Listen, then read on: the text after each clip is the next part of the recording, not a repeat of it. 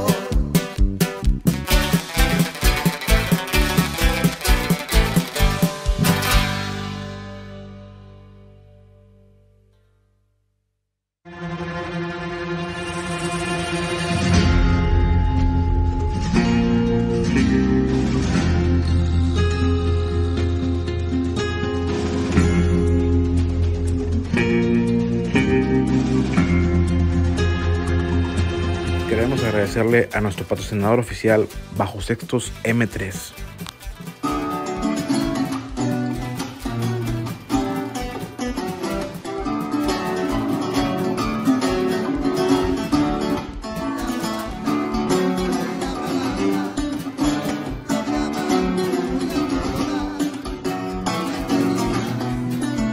Teléfono de contacto en Estados Unidos y México.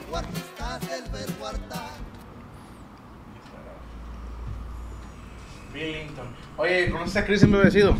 Ah, cómo no.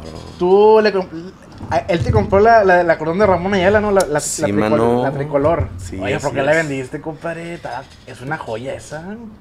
Pues como que nunca he sido apegado a las cosas, bro. Fíjate. Pero es una cordón de Ramón Ayala, ¿eh? Sí, sí, sí, ¿Sabes, pero... el, sabes el- el impacto que implica eso para el mundo de los coleccionistas? Llámese este, gente que es fan de Ramón Ayala, que daría lo que fuera por tener un acordeón original. Oye, sí, pero... no te valió. o sea, no, no, no soy muy apegado a las cosas y ahora menos. Ahora menos. Sí. Ya lo material va y viene. Sí, la, la verdad sí, bro. Exactamente. Este, qué fregón que, que tienes ese pensamiento. Yo soy complicado para vender una cosa. Por ejemplo, cuando ves aquí un vamos, esto de estos que Sí. he vendido varios así antiguos, Sí. le pienso un chorro para venderlos porque yo, yo tengo la el sueño o la meta de, de tener un museo de, de- de de música norteña. Órale. Y eso implica tener instrumentos, acordeones, eh, discos, fotografías. Entonces cuando digo, este bajo esto no lo quiero vender, compadre, porque es muy antiguo. eh, Y pues a veces me, me hago un esfuerzo por no venderlo y tratar de quedarme con lo que, con lo que sí vale la pena quedarse. Pero en este caso, un acordeón de Ramón Ayala. Oh, no está bien, pero está bien que se quedó con un buen amigo, bro. con Chris. Sí, Sí, no. pues el, el- la voz gemela de, de Ramón Ayala, dicen por Oye, ahí. sí, ¿verdad? voz, voz e imagen, ¿verdad? Dicen. Voz imagen de Voz Ramón e Ayala. imagen, órale. Te digo esto porque un chiste local, compadre Heriberto, pasó. Yo, yo llevé a Chris a un evento mío de un Sí. cliente de Farafara, tú sabes, pues yo también farafareo. Sí. Y el cliente era un primo mío y le, y le dije a mi primo, oye primo, este compadre es la voz gemela de Ramón Ayala. Y me dice, ¿a poco sí? Y le digo, sí, la canta, se canta la de Señor Dios. Buenos días, como, Sí, sí, como, sí. Marichalar. Órale. Señor Dios. Y dice mi primo, oh, sí es cierto, de la voz gemela de Ramón Ayala. No, no, sí, se, sí, sí, canta bien y se parece, ¿verdad? Pero aquí lo chusco, compadre, es que mucha, mucha gente No, no piensa- sabe, ¿verdad? Sí. piensa que Ramón Ayala es la voz grave. Entiendo, entiendo ese punto. Y eso, eso es lo, lo, digamos que, lo cómico y a la vez esto, bueno, la ignorancia de la gente. Bueno, pues es que, sin mala leche, pero se ha manejado siempre ese concepto de, pues es que es Ramón Ayala, la música de Ramón Ayala y Ramón Ayala. Pero casi no se le dio promoción a, a los vocalistas o cantantes. Y han cambiado muchos cantantes. Eh, sí, pero fíjate que como quiera, digo, detrás de, de cada gran proyecto, el, el cerebro principal tiene que ver mucho, ¿verdad? es. Pero pues, es una mancuerna, no es... Son, son elementos que conjugados hacen una fórmula y da resultados, brother. Así es. O sea, digo, eh, es, es como la comida, ¿verdad? O sea, la- la- los platillos los cocinan con todos los ingredientes y los saboreas juntos. Entonces es lo que, lo que, eh, lo que da resultado o no, ¿verdad? Ya después, pues, pueden ir cambiando y variantes. Y quizás ya no será lo mismo, quizás guste más o no, pero, pero yo creo que las, las fórmulas este, son las que, las, que, las que funcionan. Así es, las mancuernas Así y es. todo eso que comentas. Eh, y también lo curioso, compadre, es que tú estás con el tema. Pues Señor Dios es la única canción de que canta Ramón Ayala en primera voz. Ah, y él la canta, bro. la canta aguda. Tienes razón, Buenos ¿verdad? días, Señor Dios. Tienes razón, mano. y, y este sí. compa la cantaba como Liceo, pues, que te das una Pero, idea. pero fíjate, o sea, me estás comentando a mí y, y yo no sé si tal vez porque estoy, no estoy tan concentrado en lo que me estás diciendo, Sí. no lo capté a la primera, pero imagínate la gente, Sí, sí. ¿verdad? Menos. Menos. Y, y de hecho subí un TikTok con esa misma escena o, Sí. re- o recreación. Sí. Y todos, pendientes. Ramón Ayala de segunda voz. Y Sí. esa es la voz desde el liceo. Y obviamente yo sabía, yo sabía, o sea, cómo. Si yo me dedico a la historia, ¿cómo no cómo, sí, cómo no claro. cómo no vas a saber que Claro. Ramón Ayala es. Y bueno, es un, ¿cómo digamos? Un, un humor negro, por así decirlo. Ese, Sí. es- ese, ese comentario que te quiero hacer. Bueno, Heriberto Eguía. Heriberto Eguía. Eguía o Ejía o cómo se dice? Eguía. Eguía. Como si fueras a decir guía, pero con una E antes. Eguía. Así es. Eguía, ¿qué más? Gámez. ¿Tiene segundo nombre? No, no, no, nada más Heriberto. Heriberto Eguía Gámez es nacido en, en qué ciudad? Aquí en Monterrey, del mero Monterrey. Es de Región Montano. Así es, bro. ¿Tu papá cómo se llama? Juan Eguía Juan Eguía. Solís. Solís. ¿Y tu madre? Este, Irene Gámez Hurtado. ¿Están, están en vida? Gracias a Dios todavía Bendito los Dios. tengo vivos, a mis padres. Perfecto. ¿Tus padres también son de Monterrey? Eh, mi papá sí, mi mamá no. Mi mamá es originaria del estado de San Luis, pero mi papá sí es, es originario aquí de, Monterrey. ¿Y sí. tus abuelos por parte de tu papá? Fíjate que lo que yo sé, bro, es que mi abuelo, yo no lo alcancé a conocer a él, pero de él heredé eh, eh, el gusto por la música, porque él era músico. Mi abuelo era originario de Matehuala, de San Luis Potosí, y lo que tengo entendido es que tocaba instrumentos, él tocaba en un mariachi. Entonces allá aprendió eh, los- las primeras notas, después el maestro que tenía ya no le pudo enseñar más y se vino acá a Monterrey a aprender. Entonces creo que tocaba violín, vihuela, guitarra, lo que es instrumentos de cuerda del mariachi. Oye, lo que es de cada quien, pero en Matehuala ha habido muy buenos músicos. ¿Cómo no? Sí. Eh, he mencionado aquí varios y han venido algunos. Sí. Y me quedo impactado que ahí también hay muy buena música norteña. Muy bien hecha. Sí, sí, cómo no. Hay, hay Todo lo que son las- músicos, sí. Lo que es San Luis, Matehuala, todos esos rumbos de que de ese estado, sí hay buenos músicos. Sí, cómo no. No, pues en todo México, ¿verdad? Pero digo, sí, en, en- en esa, en esa parte del país hay, hay muchos, hay muchos acordeonistas buenos, este, saxofonistas, ¿verdad? Te puedo dar un ejemplo, por ejemplo, este mm, Nono Olvera es de allá de Matehuala. Creo que sí, de allá de San Luis. Órale. Y más que, que aquí han venido, este, también, también creo que Poncho, Poncho López el ladrillo. No me acuerdo bien, pero sí hay buenos músicos. Inclusive han mencionado nombres de grupos se llama Tehuala muy buenos de la época norteña. Uno que ya falleció, Conchito Correa, un bajista que estuvo con Fidencio Ayala. Órale. Él también era de allá de, de Matehuala, de San Luis Potosí.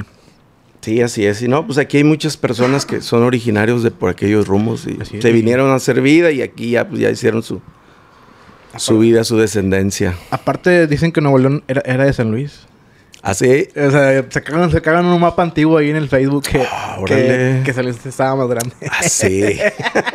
Qué curioso. sí. Oye, Heriberto, entonces tu- eh, tu abuelo dice que es músico de mariachis. Sí, él, él tocaba, él tocaba en un mariachi. De hecho, tengo familiares, mano. O sea, tengo familiares, muchos que yo no conozco, este, que, que son, son mariachis. Por ahí, de, de los que yo conozco, he escuchado hablar, eh, el mariachi San Luis de Mario Eguía, que, que, que este, eh, pues es uno de los, de los mariachis más reconocidos aquí en Monterrey. este, son, son familiares míos. ¿verdad? Fíjate, pero no tienes con ellos contacto. No, la verdad no, no, la verdad no. Qué curioso que, que tengas familia músico, de la, de la música. Sí, bueno, eh, de, de esa, de esa generación, pero fíjate que de mi generación, mis primos, eh, nadie, mano. Nadie agarró. Nadie, nadie, pero, pero ahí sí, ¿verdad? Pero de mi generación no. Entonces, este, eh, pues no sé, y, y, pues yo toco música norteña, ¿verdad? Pero pues no empecé así tampoco. Ok, ¿tu padre a qué se dedi- dedicaba o dedicó? Mi, mi- mi padre todo el tiempo se dedicó al yeso, brother, en la obra. Yesero. Sí, de ahí, de ahí nos mantuvo, nos pagó la escuela y todo, y, y nos dio un buen ejemplo. Y, Ok. y, y la verdad es que pues, estoy orgulloso de él y, y todavía tengo la bendición de tenerlo conmigo, mano. Ok. ¿Fueron cuántos hijos en, en tu familia? Este, cuatro. Cuatro hermanos. Sí, O sea, dos, dos hermanas y, y otro hermano y yo. Son cuatro Y yo soy el más, totales. el más pequeño, el más chavillo de todos. El más chavalón. Sí, y pues nada más la, la música. Entonces tu papá en el yeso. Y sí, y mi mamá pues ama de casa. ama de casa. Tu papá se cobró ante la familia en, Sí, en esta labor tan, Sí, tan difícil, cansada. Oye, sí, no, no. Eh, cuando, cuando eran las vacaciones, Ujú. que, que no teníamos clases, yo me iba con él, bro. Le ayudabas. Y le ayudaba y no, pues hizo un trabajo duro, bro. Que quedaba así bien pulidito. la- Sí, no, bueno, eh, cargar los bultos, mano, Sí. de yeso, o sea, que llegan los camiones, los trailers, ¿verdad? Tapizados Sí. con toneladas y, y ardiendo, ardiendo el, el, el- pues los bultos, ¿verdad? Que a veces vienen de, de la, de la fábrica Así es. y luego ponértelos acá en la espalda, eh, después de dos, tres, ya, ya te arde la espalda. Entonces, eh, creo que a, a veces eso nos hace eh, tener una conciencia de lo que los padres este, hacen por uno. ¿eh? Casi siempre nuestros padres nos dicen, ¿sabes qué? Quiero que mi hijo estudie. Sí. Para que no sea como yo que está en el solazo o cargas bultos. Yo creo que un padre siempre fija, se fija en eso con sus hijos. Que estudien. Oye, mi hijo, estudia. Entonces, cuando uno se hace músico, pues no- nos ve mal, ¿no? Oye, mi hijo, eso no es un trabajo, no friegues. Oye, espérame. y, y sa- sabes que, bueno, yo estudié hasta la secundaria, mano. Y te voy a decir por qué. Porque cuando yo terminé tercero de secundaria, le dije, le dije a, a mi papá, no, es que me voy a tomar un tiempo, me voy a dar un, un año sabático, porque ya andaba con lo de la música, ¿verdad? Ya andaba con lo de la música y hasta ahorita ya no regresé a la escuela, bro. ¿Te valió? Oye, ¿cómo comienzas tú en la música? Eh, ¿Te invitan amistades o tu inquietud por aprender algún instrumento? Eh, bueno, mira, eh, yo siempre cuento esto. Desde pequeñito, yo escuchaba que un vecino sonaba un instrumento, no sabía qué instrumento era. Este, después, cuando veo, pues era un acordeón el que sonaba.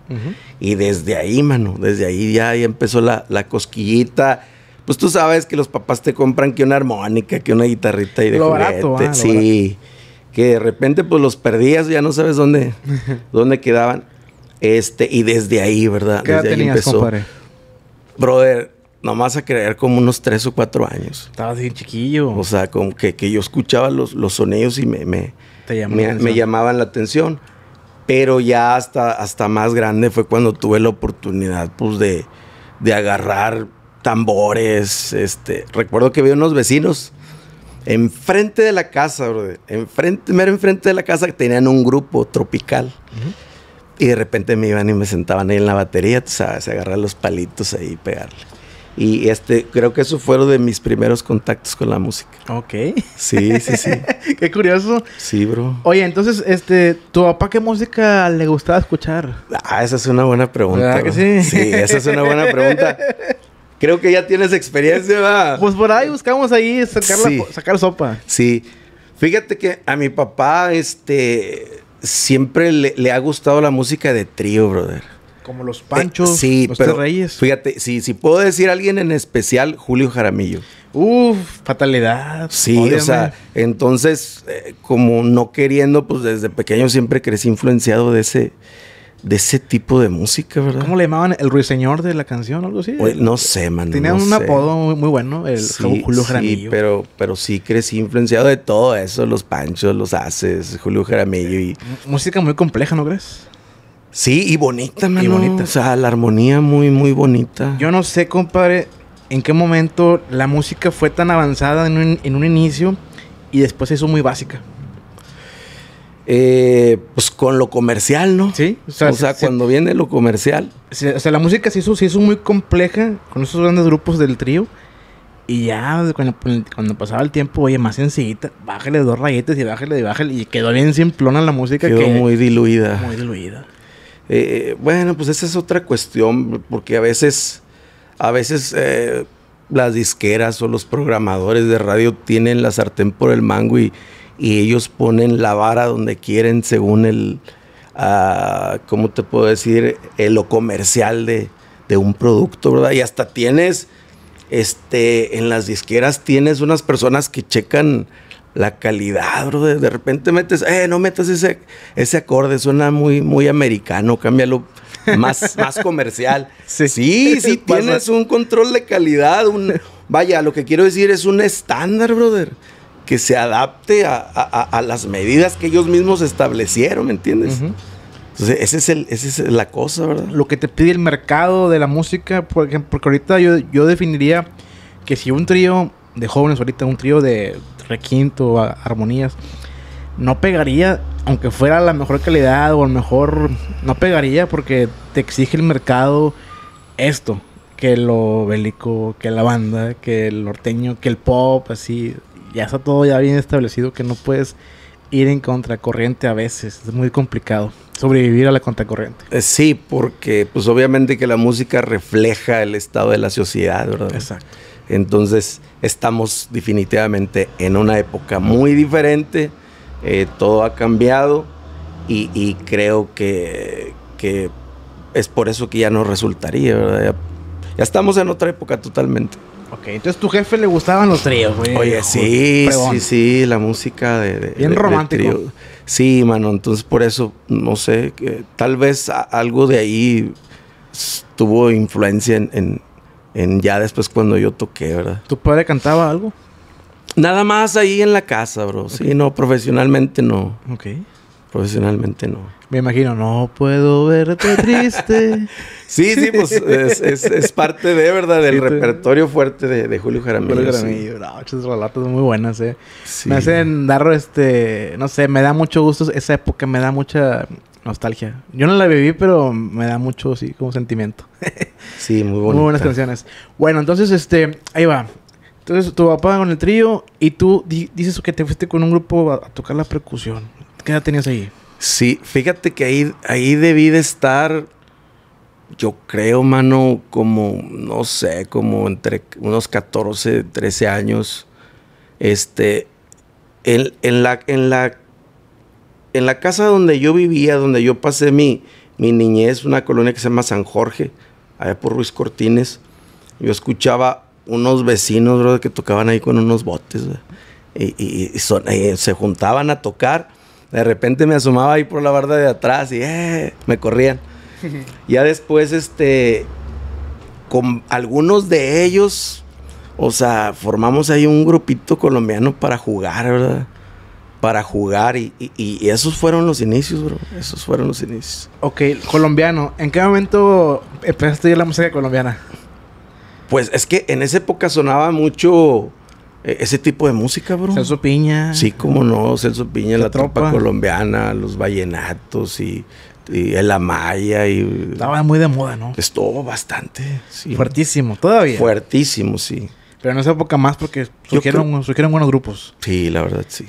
Sí, inclusive mucho apoyo de compañías como los discos de Demi. Apoyaron a la tropa y todos esos muy buenos discos aquí locales de Monterrey. Sí, sí alcancé a grabar en Demi, fíjate. En discos Demi. Pero pues timbales con un grupo colombiano. Fíjate. Sí, bro. Y sí. ese, esa compañía apoyaba mucho el Bayern porque se dio cuenta que eh, aquí está pegando el colombiano. Sí, sí. Y fíjate cómo, eh, cómo evolucionó tanto y, y pues los, los empresarios tuvieron la visión, ¿verdad? Y por primera vez empezaron a traer los grupos de Colombia y todo, y hasta el día de hoy. Todavía. Hace poquito estuvieron aquí en Monterrey y, y les fue muy bien. O sea, eh, definitivamente se ha hecho un, pu- un público cada vez más numeroso y de todo, de todo tipo de rango de, de clase social y, y de edades también, definitivamente. Pues imagínate la Sultana del Norte tan grande, bro. Yo te voy a decir, compadre, que yo la música colombiana la conocí en el camión. Ah, sí. Yo estaba en la, en la secundaria, no, en la, en la escuela secundaria. Y ponía el del, el del playa, el de la ruta Guadalupe, Rancho Viejo. Ponía siempre el playa, las de Binomio, las de Ah, los. Diablitos, las de Sí, sí, sí, Nelson sí. Velázquez. Oye, a mí no me gustaba, pero tanto que las oías en el camión se te, se te pegaban, compadre. Y a mí te la agarraste un gusto. Es que están bien hechas. También hechas con toda la mano. O sea, la verdad, los compositores, mis respetos y las armonías y Bien está muy, muy, muy equilibrado, bro.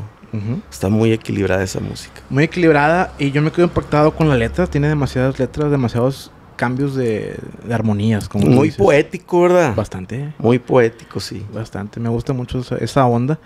Obviamente es para gente que le guste este género musical. Porque hay para todos en este ambiente. Bueno, entonces, eh, percusiones, el grupo empezaba, ¿qué onda? El, el que te decía de la colonia, sí, pues ahí, ahí empezábamos, brother, y pues no sabíamos nada, la verdad. No sabíamos ni que era un acorde, ni un tono, ni nada de eso. Oye, pero dejaste, dejaste la, la secundaria para tomarte un, un año sabático. un, un año sabático y porque andaba ya ahí con el coqueteo de la música. ¿Ya, ya, ya te alcanzaban a pagar algo? Sí, fíjate que sí, bro. ¿Cuánto te pagaban? Sí, Ay, buena pregunta, mano. ¿O, o, o qué te alcanzaba con ese lana? ¿Un gancito? Eh, de una cifra que yo me pueda acordar, 50 pesos, bro. Que sí eran buenos pesos, ¿no? Eh, Pues sí, sí, sí, alcanzabas a, a, a- a cenar, a, a hacer, a, hacer varias cosas con 50 pesos. Era sí. como un 500 más o menos. No, no, no, no creo, no creo que tanto, pero a lo mejor como unos 200 o 300 pesos. Sí te rendía el 50. Sí, sí te rendía. Ok, te lo pagaban por evento, por hora. Por evento, por evento, sí. ¿De cuánto tiempo las- los eventos? ¿Cuatro, Pues, cinco? por ejemplo, como en una boda o algo así. Cuatro horitas más o menos. Sí. Bien negreado, pero pues, Sí. estabas chavo, no te importaba. Sí, tanto. no, es que la verdad en esa época, brother, ni sientes eh, el, el- lo, ¿cómo te diré? Lo duro o, o la desvelada o la malpasada, ¿no? Y aparte porque, pues uno tiene las ganas de, de, de- de aprender, de, De progresar. y de tocar, porque es una pasión, ¿verdad? O sea, tienes esa, La espinita. esa dice inquietud de, de- de hacer lo que te gusta, sí. Y no te cansabas en la, en la percusión. Es- era con las manos. Sí, tocaba congas primero. Congas. Y sí, brother, no, pues como a uno nadie le enseñó, pues se reventaban los dedos y todo, ¿verdad? Ay, Dios. Lleno ahí de, de, de- cinta y de todo. Y ya después, pues los, los, los timbales. Pero sí, o sea, de repente, pues las consecuencias ahí de, de, de- de no, no tener técnica ni nada de eso, ahí como Dios le dio a entender a ¿Y uno. no cantabas ahí, compa, un- unos coros o algo? Fíjate que, que nunca me vi en la obligación de cantar y eso está muy mal eh, a todos los que nos están escuchando. Tomen clases de canto, váyanse este, inmiscuyendo en la cantada Claro. porque, porque ahora estoy aprendiendo a cantar apenas. Fíjate, ¿y ahorita qué edad tienes? Ahorita te- voy a cumplir 47 años. Fíjate, y nunca es tarde para aprender. Porque muchos dicen, no, ya estoy viejo, ya no quiero aprender acordeón o cantar. Sí, es que es una herramienta muy buena. sí. O sea, el canto es una, una herramienta. Para mí, la verdad, de los músicos que más admiro es a los cantantes. bro. Los admiro, la verdad. Este, eh, a- admiro los, los cantantes que, pues, que tienen la bonita voz y que lo hacen excelente. El- mis respetos para ellos. Oye, pero ¿te has fijado en un fenómeno? Pues a lo mejor tú lo puedes notar porque eres, eres músico. La gente también se va a dar cuenta. Cuando un cantante toca el acordeón, le mete menos crema. no sé, no sé. A lo, mejor- a lo mejor sí hay una excepción con pesado, mis respetos. Pero hay grupos que toca el acordeón y canta y no le meten tanta crema como, como debería. Eh, pues por el espacio, ¿no? Claro. Por el espacio, porque tiene que respetar este el espacio de las, las líneas de la voz, las limitaciones de, de la dicción, de estarse concentrado en la afinación y, Sí. y lo que vas a hacer acá, porque eh, no, ¿cómo te puedo explicar? Eh, el cantante y el acordeonista piensan diferente, ¿verdad? Y él ahí tiene que acoplar las dos, las dos cosas ¿Es correcto? para poderlo hacer. Bien difícil, ¿no? Sí, y si nada más es- estás tocando el acordeón, pues obviamente que vas a meter mucho más porque no estás haciendo nada, porque le quieres rellenar. y, y no te, no te, no estás, en- no tienes la conciencia de lo que está haciendo el cantante, Así ¿verdad? es. Por eso el, el de Palomo es, es- es bien cremoso. El que estaban con Palomo era bien cremoso en el acordeón. Porque no cantaba el vato, ¿ah? Sí, la verdad, sí. Era bien cremoso. La verdad, sí, sí, sí. Nah, bueno, entonces, otra vez el canto, compadre. Te, te animaste por cantar entonces. Sí, apenas estoy aprendiendo. ¿Y qué tal? ¿Sí? ¿No batallaste? Sí. No, pues sí, ¿Estás sí, cómo no, sí, sí, claro, o sea, no es fácil. La verdad, no es fácil. Casi por lo regular es obligado que el acordeonista haga segunda, ¿no? A veces en un farafara o en un grupito, eh, segundea, güey, aprende, la segunda. Sí, eh, bueno, en el concepto de lo norteño, obviamente que sí, ¿verdad? Sí, sí. Porque si ves el concepto del, de lo vallenato, no. De hecho, tienen un cantante, tienen dos o tres coristas, uno que hace voz abajo, arriba, etcétera. Y- y el del acordeón no. Pero sí, estamos en Monterrey y, y la verdad sí, sí es necesario. Sí, sí implica y exige. También pasa mucho con los congueros. Eh, conguero, tienes que animar, güey. Aprende a animar. o segundear también. Sí, sí, sí, la Porque verdad. sí. sí. sí, a veces como que quiere el grupo norteño ser más compacto, sin tantos elementos. Eh, Se requiere por muchas cuestiones, ¿verdad? Económicas también. De, de- de muchos aspectos, este. Sí, pero sí, este, sí es, sí es importante. Es que todos los músicos que, eh, que toquen acordeón y no canten, pues no es, no, es, no es tarde para que empiecen a, a- a estudiar. Consejo de un maestro del acordeón, mi compadre Heriberto. No, digo, porque eh, por- pues ahora me veo en la necesidad de hacerlo, entonces di, hubiera aprendido desde antes. Así es, nunca digas de, de esa agua no beberé porque va a pasar algún día que tienes que correcto, aprender. Es correcto. Chula. Bueno, entonces después de, de, de ese grupo, pues digamos, vallenato, entró Sí. percusión, timbales, ¿qué más surgió, surgió para ti de, ahí, de esa época? Fíjate que ahí eh, nunca dejé el deseo de aprender el acordeón. Ok, O sea, fue tu meta. Sí, mi meta fue, fue aprender acordeón. No tenía acordeón. O sea, si ahorita es complicado comprar un acordeón en esa época, pues más, ¿verdad? Claro. Pero fíjate que este, un buen amigo, eh, Gerardo Guerrero, este, que era acordeonista ahí en el grupo donde yo estaba, eh, me prestaba uno, bro. Él trabajaba en turnos y, y yo iba hasta su casa y, y- y me prestaba el acordeón y lo aprovechaba al máximo. O sea, obviamente sin maestro, sin YouTube, sin, sin una app que te baja el beat de las canciones ni nada de esas Uh, herramientas que hay ahora, ¿verdad? Bien difícil, compa. bien difícil porque tenías que desarrollar la habilidad de escuchar en un tono y sacarle en otro tono porque no tenías tres acordeones. Es correcto. O sea, sí, sí estaba complicado. ¿verdad? Por eso también pues andabas echando mentiras, ¿verdad? Pero, Pero ¿verdad? tu meta era sacar vallenatas en el, en el acordeón. de primero sí. Colombianas. De primero sí, sí. Eh, ¿Conseguiste el acordeón prestada? ¿Era que una Honer? Una Joner, ¿Tres o eh, una Joner de tres hileras, tono de, de fa. tono de fa? ¿Pero Sí. Honer Corona 2 o Corona No, 3? corona 2, Corona 2. Normalita. Sí. Ok, y ahí fue tu, tu primer, este, digamos, tu primera meta, ¿no? Aprender el acordeón. Sí, aprender y ya le, ya le empezamos a sacar melodías, ¿verdad? ¿Cuál sería tu primera melodía que te aprendiste en el acordeón? Híjole, yo, yo creo que Las mañanitas. No, todos, no, no. todos comentan eso, ¿eh? ¿No crees? sí, no, pero acuérdate que yo era vallenato. vallenato. No vallenato, o sea, colombiano, ¿verdad? Sí, Porque sí. vallenato pues es más complicado. Sí. Este, no, yo creo que como, como todos los que han tocado así colombiano, la cumbia zampuesana. Esa era la primerita. Sí, la primerita, la más facilita. Oye, sencillita, pero ¿cómo, cómo es tan llamativa esa, esa cumbia, no? ¿Cómo lo simple es, es mucho, no? Es más. Eh, yo pienso una cosa, bro. No es tanto lo simple o lo complejo. Es que tengas la capacidad de, de que la gente entienda lo que les quieres decir. Si el músico, independientemente de las cantidades de, notas que, que emplee o, los acordes, llega a tener ese contacto, a, a- a- tocar la, la sensibilidad del, del público, ya la hizo. Exactamente. Y ahí queda claro el concepto de, de que tienes que transmitirle el- el- a la gente. O sea, tienes que darle la música para la gente, no para apantallar a, a tu compa, el acordeonista de allá.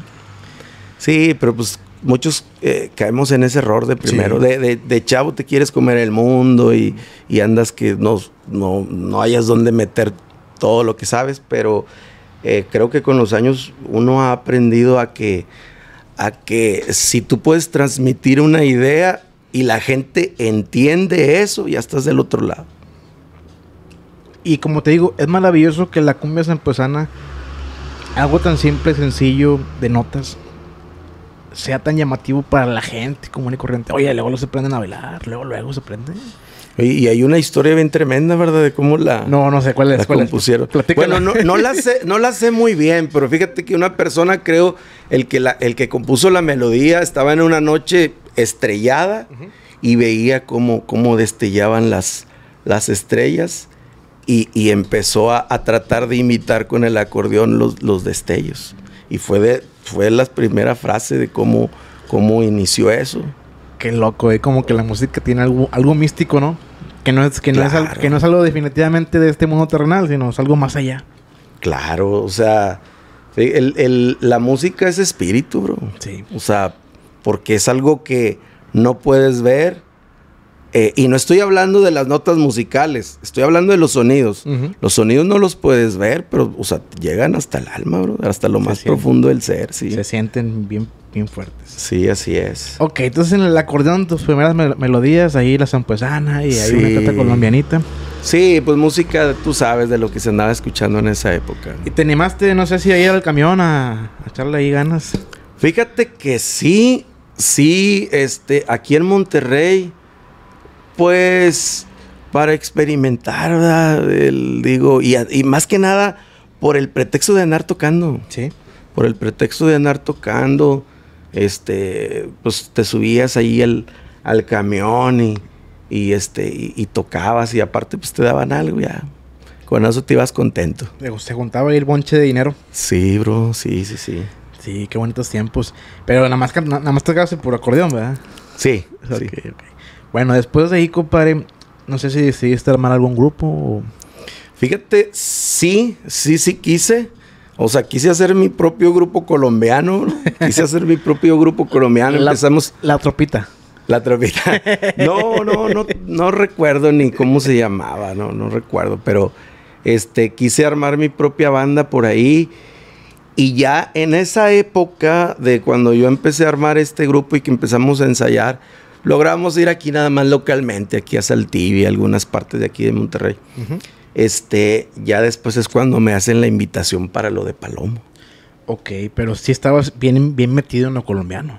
La verdad, sí, sí, O sí. sea, sí. era, eh, tú eres colombiano. ¿Te vestías colombiano también? No, no, fíjate. ¿Cómo no. te vestías? ¿Así normalito? Mm, Pues de vestir, bro, tú sabes, de, de vestir. es- Formalón. Se, se, se, se usaba en aquella época unos pantalones aquí con unas pinzas así, le llaman bombacho, brother, así que están como abultados. Sí. Zapatos de charol, bro. ¡Ala! Era, era este, eso era el, el estilo de esa época. Pues tú puedes ver, bueno, de lo- los discos, ¿verdad? De la, de la tropa, de Celso y todo Sí. eso era la... Pues ellos lo que estaban marcando ahí la influencia, ¿verdad? De, de ese como tipo, tipo, de... como medio tropicalón, ¿no? O Sí, ándale. Sí, ¿verdad? sí, sí. Eso. Así como Eso fres- era. fresco, va playero, así como... Sí, mano. Sí, ese era el, el- el estilo de, de esa época. Qué curioso. Y tú también te gustaba esa ondita, ¿va? Entonces, pero Palomo, ¿cómo te, te encuentra? ¿Cómo te contacta? ¿Cómo, cómo está la onda? Ok. Mira, la cosa es así. Rubén Segovia, este, era bajista en ese grupo que yo te digo que yo estaba. Y Rubén creo que vio un anuncio en el periódico de que una banda versátil necesitaba un bajista. Eh, Rubén va y hace la audición y ese era el grupo Palomo, porque el grupo Palomo era una banda versátil, no era un, un grupo norteño. También cantaba una, una mujer, ¿no? Cantaba la, hermana, de, de- de- de- de Homero, De Homero. ¿verdad? Magda Palomo. Entonces, eh, sí traían. eh, el- el- la, la misma persona que tocaba el piano tocaba el acordeón de, de- de teclas. Y empezaba el auge de, lo, de la música norteña. eh, ¿Cómo se puede decir? La nueva. Lo light. Sí, sí, exactamente. ¿verdad? Intocable, pesado. Eh, creo que apenas era, era con los Cardenales, con Salomón Robles. Uh, esto, o sea, Sí. un poquito antes. Sí, atrás. exactamente, un Sí. poquito antes. Y este, y Rubén me dijo, oye, pues apréndete unas canciones norteñas ahí en el acordeón. Y yo, no, pues no me gustaba, mano, nada, nada, nada. Y, y, este, me convenció, me las, me las aprendí ahí en un, en un jonercito tono de mí que tenía, que tenía recortes de periódico, de revistas acá por todo el fuelle. No, no podías tocar tres segundos, brother, porque tenías que cerrar el, Estaba el fuelle- abrir el fuelle todo, sí. Estaba sí. bien reparado. Estaba bien reparado. este, y, y luego, pues, dice, no, te van a hacer una audición. No, está bien. Entonces, vamos, y el que me hace la audición a mí es Beto Zapata, bro. ¿A poco Beto Zapata? Sí, Beto Zapata de pesada, pero obviamente ellos también... ¿Eran ami- amigos o qué? Era, era amigo de Homero ya, porque, bueno, no sé ellos cómo se conocieron, pero en Villa de San Miguel estaba la oficina del Grupo Palomo. Y mero enfrente era la casa de Don Mario, este, el papá de Mario Padilla, bro. Y ahí, ensayaban ellos, ¿me entiendes? Qué loco. Y creo que le prestaban, le- él le prestaba instrumentos o aparatos ahí a los, a los de pesado cuando iban, iban empezando, ¿verdad? Fíjate qué loco. Sí, bro, sí, sí, Es- sí. Eso es allá en San Miguel. Sí, en San Miguel. Creo que la, la audición fue en un, en un rodeo que estaba por ahí por Churubusco, no recuerdo cómo se llamaba. Y este, ahí es cuando me hace la, la audición Beto y dice, no, pues está bien que se quede. Ahí, yo con mi acordeoncillo ahí que se abría y ¿Qué cerraba. rolas tocaste esa en esa ocasión? Unas de los invasores, bro. A la máquina. Unas de los invasores. Y este, y ya, pues desde ahí, desde ahí me quedé. Y entonces con Palomo. Sí, ya. Este, ¿qué te iba a comentar? A, a tu entrada de Palomo ya tienen su agenda, ya tienen sus, sus eventos ya agendados. Sí, ya tenían, ya tenían, eh, pues casi se movían mucho en, en eventos sociales. Ujú. eventos sociales. No andaban en, en bares. To- ahí todavía no. Apenas empezaban. todavía no. Sí, apenas, em- apenas como que despegaba ahí la cosa. Ok. De ser banda versátil, ya estaban brincándose a hacer nada más nor- norteño. Sí, porque, porque ya, ya iba empujando este con más auge lo norteño. Ok. Sí. ¿Quién andaba de vocalista cuando tú entraste con Palomo? Cuando yo estaba, estaba Jesús Ortega. Ok. que, que a él le apodaban el Rebo por una banda, un grupo que se llamaba El Revolver. ¿Te acuerdas? Bueno, a lo mejor no te acuerdas. Por momentos como este. Ándale. Sí, y, bueno. y como su voz era muy parecida, bro, por eso le, le decían así. Qué chulada. Entonces, este. El Rebo. eh, ándale, sí. Él, él, este, él estaba ahí como vocalista y pues también la, la hermana de, de Homero. Y Homero tocaba con guitarra eléctrica, ¿verdad? Porque pues era una banda. Era, era una como, banda. como tipo banda conspiración. Ándale, algo así, sí, algo así. Ay, qué loco. Bueno, entonces, este, ya pintaba más norteño, tuvieron que, que conseguir un bajo sexto. Eh, También implicaba más, más- más ensayos, definitivamente, ¿no? Más ensayar, más este, sí, claro. sacar canciones. Sí, no, pues sacar todo, todo, todo el repertorio que, que sonaba en esa, en esa época. Todavía la, la- la hermana de Homero se quedó un tiempo más Ujú. y luego ya después se hizo el, el- el grupo totalmente norteño y pues sí tuvimos que, que ensayar más, ¿verdad? hacer, acoplar el, el repertorio 100% norteño.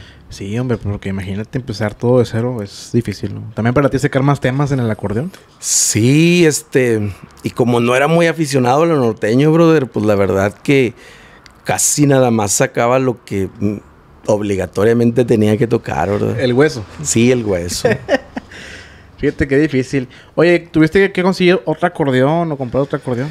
Fíjate que sí, mm, sí, este, tuve también un acordeoncito de sol, este, que ahí es una, una anécdota muy curiosa, eso de ese acordeón, bro, porque estaba esperando el Ruta 21 por allá, por el, por el poniente de la ciudad y, y, y yo llevaba mi acordeoncito ese que te digo que estaba todo, pues ya, ya muy trabajado. Bien, bien este... Se me acer- sí, Bien trabajadito. y se me acercó un señor y me dijo, eh, yo tengo uno, un acordeón, te lo vendo, no sé cuánto me dijo. Me dice, nada más que lo tengo empeñado. Este, pero me enseñó la boleta y todo, ¿verdad? Obviamente yo estaba chavalo, bro. Te vendo la boleta, te la aplicó. Sí, sí. Pero yo le dije, pues sí me interesa, le voy a comentar a mi papá, ¿verdad? Y hablé con mi papá, le comenté, dijo, no, sí, que venga, que venga a hablar conmigo. Total, este, fíjate que nos aventuramos, eh, me dio el dinero para irlo a sacar, estaba empeñado en el Monte de Piedad.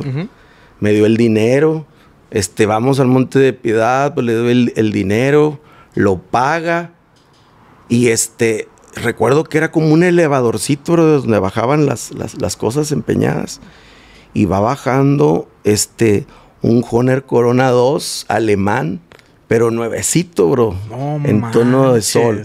Nuevecito, o sea. Una ganga. Sí, sí, este, no, no, no, no, bien, bien tremendo, una, una bendición muy grande. ¿Te bro. lo dio a buen precio? Sí, la verdad, sí. O sea, ya con la boleta y, sí, y con todo. todo. sí, la verdad, sí. Te fue bien. Me fue bien, mano. Hijos, Esa es la historia de ese acordeoncito de sol. fue un buen comienzo, ¿no crees? Sí, sí, porque este, pues la verdad no sabía que, que se sentía tocar un acordeón que estuviera en buen estado, bro. ¿verdad? Sí, sí. No, siempre, siempre, has tocado con, ¿cómo le llaman? Con garritas, ¿no? Decirlo. Sí, sí. Con no. todo respeto, con todo respeto. Sí, no, entonces este, pues se sentía bien diferente, ¿verdad? Sonaba, sonaba bonito. Y ya con ese y con el de mí, pues ya, ya este, ya con ese pues sacábamos el repertorio. Ya después, obviamente que vinieron más acordeones, ¿verdad? ¿Aún tienes algún acordeón así de esa época que tengas ahí conservado? Este, no, mano. Todos no, ya- no, no, no. La verdad he sido muy desapegado a cosas. ¿Y esa de mí estaba, bonita o qué? La- No, mano. ¿Qué marca era? Era Joner. Era Joner. ¿Sabes cuánto me costó, bro? ¿Cuánto? Me costó 300 dólares. ok. Me costó De esa época. 300 dólares de esa época, que pues el dólar costaba muy poquito. 12 ¿verdad? pesos, 10 pesos. Yo creo que menos. Yo creo que estaba. menos. Sí, estaba, estaba, estaba barat- baratón, pero pues con ese, con ese nos enseñamos también. Fíjate, fue para ti una escuela. Oye, eh, no sé, en tu caso, Eri, pero por ejemplo, mucha gente acordeonista le hace el feo al, al tono de sol. Porque todas las de los cadetes, las de Ramón Ayala, el tono de fa, el acordeón de fa, Sí. los bemoles. Y Ajá. muchos le sacan la vuelta al de sol porque te limita mucho. ¿Por qué quieres una, una de tono de sol? ¿O era porque la oportunidad? No, era por la oportunidad. Y- y obviamente que, oye, pues nadie te enseñó, no sabías nada que de escalas ni nada de eso. Pues de repente tenías que tocar canciones en mi bemol ahí en el de sol, ¿verdad? Lo que se pudiera, obviamente. Lo que te alcanzaba. Lo que te alcanzaba y, y así. sí. Porque todo el mundo, pues la de fa, la de fa, o la de mi para bajarle un tonito. Sí. Medio tono. Y eso porque no se les ha ocurrido hacer de mi bemol lo de. Al rato, ¿Verdad? Sí. Eh, Como quiera, sí, sí cambia mucho la canción si le bajas un tono completo, ya se oye más diferente, más cambiada. Bueno, Sí, sí, sí, se oye diferente porque obviamente el oído está acostumbrado a escucharla en cierto tono. ¿verdad? exactamente. Ok, entonces con Palomo, eh, ¿tú qué edad tenías ahí con ellos? Con? Ah, buena pregunta. Yo creo que tendría, mano, unos 17 años más o menos. Ok, ¿tú eres nacido en qué año? En el, Y en el 77, Ok, como en el 94, entonces te con Palomo. más o menos, sí. Ellos, ellos creo que, que habían empezado como en el 92, Sí. ¿verdad? Pero ellos, ellos ya estaban. Yo cuando ya, cuando entré, el grupo ya estaba hecho, ¿verdad? Pero era versátil. Ok, entonces en esa época comenzaste con Palomo. Sí. Eh, ¿También estaba la cobrita o no? No, no, no, no. La cobrita entra en otra época, bro. Ok. La, la cobrita entra, entra en otra época donde hicimos una transición, bro. ¿Ah, sí? Sí, hicimos una transición porque se hace, la- se hace el grupo 100% norteño y entre que tocábamos eventos sociales y esto, de repente empezamos a trabajar de planta en algunos bares de, de aquí de Monterrey. Este, pues unos que ya no existen. Y, y estando ahí en esa, en esa etapa fue cuando conocimos a Víctor, porque tocaba en otro, en otro grupo de planta ahí. Y de repente iba y tocaba el palomazo ahí con nosotros. Este, entonces, eh, llega un punto donde dijimos, ¿sabes qué? Vamos a salirnos de aquí, bro, porque no, no vemos futuro en nada de esto. En los bares. Sí. Eh, no vemos futuro en nada de esto y decidimos pues, pues, pues salirnos de ahí. El baterista que estaba ahí en ese entonces pues no, no quiso seguir el- la misma visión. Entonces es cuando entra Víctor. Ok, la cobrita. Sí, En paz descanse. en paz descanse. sí. Ok, y también ya estaba ahí en el bajo, ¿cómo le llaman? El que era. El que se fue a Estados Unidos, ¿cómo se llama? ¿El primo? El primo ya estaba. No, no, no, el primo fue mucho También después. mucho después. Sí, no, ahí estaba Rubén todavía, Rubén Segovia. En Segovia. Ok. Y en la voz, ¿quién siguió después del que me mencionaste ahorita? De- después de después de este Chuy, eh, ya fue cuando entró cuando entró Ángel. Ángel. No, Sí. no había entrado todavía Pete. Eh, no, no, no, no. O sea, Pete vino entrando después de Ángel. Sí, en una salida que, se, sal- va, que se va salió. para Estados Unidos también. se va para Estados Unidos, ahí es cuando entra, entra Pete. El famoso Pete. Y, graba- Sí. y graban la baraja de oro. Sí, grabamos unos, unos discos de, de, creo, homenaje a los relámpagos, algo así, algunos temas, unos covers, y ahí es donde, donde canta, canta Pete. Oye, sí pegó muy fuerte la baraja de oro con Palomo. La verdad, sí, bro. sí, fue un trancazo. Eh, pues eh, yo lo que sé, lo que tengo entendido es que en el área de, de Los Ángeles, allá en California, es donde más sonó. Y aparte sí, le meten algo diferente a la canción, ¿no? Le meten otros... Pues un tono menor, ¿va? Y cosas así. Pues es- eso fue después, bro. Eso Ah, porque la grabamos dos veces. ¡Oh! Eso la grabamos dos veces.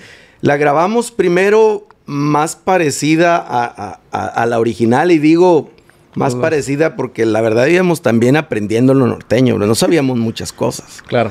No sabíamos cómo iba bien tocada la batería, cómo muchas cosas que no sabíamos. Este, no sabíamos acentuar bien. Entonces, se grabó ahí y esa fue la que pegó. Es así como estaba. Que venía en ese, es- esos discos este, de covers. Y luego después hicimos un disco de puros corridos. Y ahí la grabamos en una nueva versión. La renovada, la que te, la que te comentaba. exactamente. De, y si juega sin Eh. que se va a tono menor. Sí. Ok, te iba a preguntar, bueno, entonces cuando dejan los bares, deciden buscar suerte en qué, en qué cuestión, en, en ir, ir a compañía o... No, fíjate que ahí decidimos, eh, bueno, fue otra etapa donde, donde decidimos eh, tocar en puros eventos sociales, ya puro privado. puro, puro privado, Porque sí. un bar te casi queda, ¿no? Te exige el horario y no puedes agarrar más eventos y... Oye, pero es que era, era tremendo lo que hacíamos, mano. O sea, estábamos, to- tocábamos este, de planta ahí en, en el bar ese que te digo, y si nos tocaba salir a, a un evento privado viernes, sábado y domingo, eh, temprano a mediodía íbamos, quitábamos el audio de ahí, lo poníamos en, en el evento, terminábamos el evento, volvíamos a ponerlo ahí, tocábamos así todo el fin de semana, imagínate. Qué barbarie, porque un, un equipo de audio es, era, era costoso, ¿no? Y pesado. Y pesado. Nosotros mismos lo cargábamos. Las bocinotas de las pibis, las cajones. Sí, bro. bien Vegas. Sí, no, no, no, no, no. Bien pesado el sonido, ¿verdad? Sí, bro. Oye, pero un sonido muy bonito que ahorita no, no se compara. Ese sonido era más, más, este, más, más cálido. El sonido viejo de antes. Pues sí, sí, sí, sonaba, sonaba padre, Y ¿verdad? ahorita el digital, pues ya se oye más, más, este, más, este, ¿cómo se dice? Más fino, ¿no? Ok, sí, más fino, más fino. Porque los bajos que te daba los Servin Vega eran, Sí, era, eran- era diferente, otro punch. se sentía bonito, el- se sentía el golpe fuerte. Sí, sí, sí. Entonces, eso hacíamos. Era una locura. Lo mejor era tener un equipo de audio ya, ya fijo en el, en el bar, ¿verdad? Pero, Sí. pero pues el, el billete.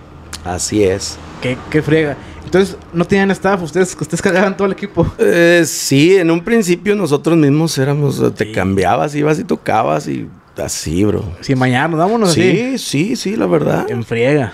Sí, sí, era, era muy, muy trabajoso. Y, y así, así lo hicimos. Yo recuerdo también una cosa, que en esa época que yo te estoy platicando, bro, este, como que empezaba el concepto del antro. Porque una cosa era el bar y otra cosa era el, era el antro donde, donde este, casi ese tipo de música era muy nueva, todavía no entraba. Y como que fuimos de los primeros grupos eh, en ese concepto, ¿verdad? Obviamente que lo dejamos también para, para ya después hacer las puras grabaciones. Porque antes de, de antros estaban los, ba- los bailes grandes, ¿no? En, en el rodeo de medianoche, en No, el sí, Far sí, sí. West, en el Corral. O sea, eran lugares grandes. Pero dicen, aquí estuvo Lino Noé y el doctor Aristeo de Rainbow Music, que sí afectó mucho la cuestión de, de que surgieran los bares chiquitos, los, santos chiquitos porque ya la gente no iba hasta, hasta el far. Ya mejor iban aquí a la esquina con el, Ah, el antro que está aquí a la vuelta. Y le quitó mucha gente a los lugares grandes, masivos. Sí, entonces ya, ya, entro, ya, ya nosotros ya nos enfocamos nada más a, a, a- a lo de la, la grabada, ¿verdad? Órale. Ah, o sea, buscar la oportunidad de grabar, más bien dicho. ¿Con quién luego, luego fueron a buscar asilo? Asilo de grabación. Eh, fíjate que hicimos, hicimos un, un demo por ahí, este, híjole, se me va a ir el, el nombre, mano, con, con el manager de conspiración. No recuerdo ahorita el nombre. Este, y grabamos un, un cover. Grabamos Eres todo, todo. Y, y me acuerdo que no sé por qué ahí estaba un, un acordeón de Ramón Ayala, bro. Otro, otro, otro acordeón. Y él no Ahí- sabe, a lo mejor no sabe que lo usamos para grabar. ¿A poco? ¿Ese acordeón de Ramón Ayala Sí. en el estudio? En el estudio estaba ahí. ¿Qué estudio era? ¿De, de los de conspiración? Sí, de, ahí donde ellos ensayaban. Este, Lozano, creo que se, se apellida el señor. Ok. Este, y, y no sucedió nada. Ahí no, no pasó nada. Pero ya después conocimos a Lalo Banda, este, que en ese tiempo tenía el grupo de Encadenado. Y este, él fue el que nos invitó a, a Disa, bro. Él fue el que nos invitó a Disa. Él les dio... Él fue la- el conecte con los Chávez. Él fue el conecte con los Chávez, así es. por- porque, porque creo que se tenía que grabar un, un disco de puros covers que en ese tiempo se llamaba este, Mex Tex, así al revés. Entonces eran, eran puros covers tejanos que se tenían que hacer un disco de catálogo. Y él, como nos conoció a nosotros, este, nos dijo que mejor lo, lo hiciéramos nosotros. Y fuimos y lo grabamos, pero él fue el conecte para que para tener el contacto con, con Disa. Porque Lalo lo usaba mucho para grabaciones, ¿no? Para grabar los discos Creo de... que sí, bro. Porque sí sacaron muchos, muchos discos de cover la compañía. Eh, sí. Y entonces mejor dijo, pues ahí está Palomo. Palomo puede sacar adelante esos, esos, esas Sí, grabaciones lo hicimos y fue de la manera que, que- que ya nos conocieron ahí. que entraron con, con Disa. Sí. Ok, ya con Disa ya les surgió oportunidades de grabar más temas inéditos y todo eso. Sí, primero estuvimos en una filial de Disa que se llamó Marcha Records, de Mauricio Chávez, que también ya, ya falleció. Este, él nos dio la oportunidad de grabarnos el primer disco inédito porque hicimos muchos discos de, de covers, bro. Claro. Muchos, o sea, variado. Eh, y luego ya nos da la oportunidad del primer disco, este, y, y después ya en el segundo creo que ya, ya entramos a, a Disa. Ok, ya, ya definitivamente. Sí. La compañía Disa, Sí, la de antes, ¿no? así la, es. Sí, la fuerte, la grande. Sí, así es. La enorme. Sí. Qué chulada. Bueno, entonces ya con ellos, es- este... Por ahí supe que, se- que, que habían sacado discos con, con Ángel. ¿Ángel entró, entró con ustedes? ¿Estaban con Disa o entró un poquito después? Mm, No, él, él entró antes. Entró Antes, entró- Sí, antes de que grabáramos. Ok. Ya se habían acoplado con Ángel. Sí, todo. ya. Qué chulada. Hacen buena amiga con Ángel, ¿no? Porque Ángel este, tiene muy buena voz. Sí, sí, tiene, tiene muy buena voz. Y este. Y la verdad que canta muy bien y, y mis respetos. Yo en todos los años que. Que este. Que estuve tocando con él. O sea. O sea, siem- siempre cantó, bro. O sea, a, a pesar de que la carga de trabajo era mucha, o sea, siempre. No se rajaba. Sí, no se rajaba, ¿verdad? O sea, porque te digo, yo apenas que voy aprendiendo, dices, tienes dos, tres eventos y andas, ¿verdad? No, pero no, no, no, no se rajaba. ¿Cuál, cuál sería la, la visión de, de los Chávez con ustedes? Como que contra quién competirle musicalmente. Pues yo, yo creo, Porque tú o sabes, me imagino, tú sabes. sí, pues por la voz de Ángel. Espuela Dorada, Encadenado, los inmigrantes, todos tienen una similitud con algo. Sí. No, pues yo creo que con Intocable, brother. Definitivamente. Sí, yo creo que sí. Intocable estaba sonando ya fuerte. Sí, no, no, no, ya era un monstruo, sí. Que sonaba ya la de Vete ya, este... Eh, sí, sí, Coqueta. todo, todo, todo, todo eso. No, Coqueta creo que fue antes, ¿verdad? Pero vete ya, yo creo que todo ese disco ya estaba sonando y este, y ya con, o sea, eh, con la similitud de la voz de Ángel, pues por ahí era el camino. ¿verdad? Oye, pero no queriendo, ¿verdad? Como quiera, Ángel me platicaba que él cuando, cuando- antes de que fueran con Disa ya, ya tocaban covers, ¿no? De, de Intocable, ¿verdad? En, Ah, en- sí. en los, en los sí, eventos. Sí, sí, la, pues, la que sea, ¿verdad? Ya tenían la, el callo. Sí, ya, ya estábamos muy. Ya estábamos muy fogueado- fogueados, brother, en, en cuestión de, de repertorio y de todo eso. Ok, entonces la visión de, de los de Disa era, era competirle a Intocable. Yo creo, yo creo que sí. Sí, porque si, si yo, si yo que soy espectador, compadre, noto, me confundía. Yo pensaba que la, la de No me conoces aún, yo pensaba que era intocable. Yo que era un, pues un espectador, ¿verdad? Sí. Sí, ese es intocable. Y nada, es Palomo. no me conoces aún. Sí. I- Igual, igual yo creo que también es la, la corriente o, o- o cómo se puede decir, Lo la estaba. moda. Lo que estaba de moda era, era de que, de que sí, como que, como que a propósito muchos grupos buscábamos sonar a eso, ¿verdad? La similitud. A la similitud, sí. Tenía intocable la de Bolerito, ¿va? El- esta, la de. ¿Cómo se llama? Un desengaño. Creo, ah, no sé, no sé, mano. No, no creo que todavía estaba ese tema. Ok, pero. No como- recuerdo. Como quiera, ese bolero estuvo. Ah, sí, sí, sí. Perroncísimo, ¿no? Sí, cómo no, muy, muy conocido. Muy conocido. Ok. Entonces, este. Empiezan a grabar con, con Ángel. Palomo empieza a grabar en Disa.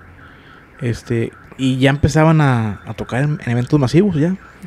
Eh, pasó un tiempo, sí, sí pasó un tiempo, sí tuvimos que, que, que picar piedra, ¿verdad? Eh, pero, pero ya después sí empezamos con los eventos masivos, más que nada, eh, ya empezaron casi en el tercer disco, con No Me Conoces Aún, ¿verdad? Antes de eso sí salimos, sí salimos de aquí de Monterrey, llegamos hasta Houston, pero estaba más, más limitado el campo de trabajo, sí. Ok. Eh, ¿Con quién alternaban? ¿No, no te acuerdas? Eh, ¿En qué época? Antes de, de- de No me conoces aún. Pues casi con el elenco de ahí de Jaguar Representaciones, bro. Ok.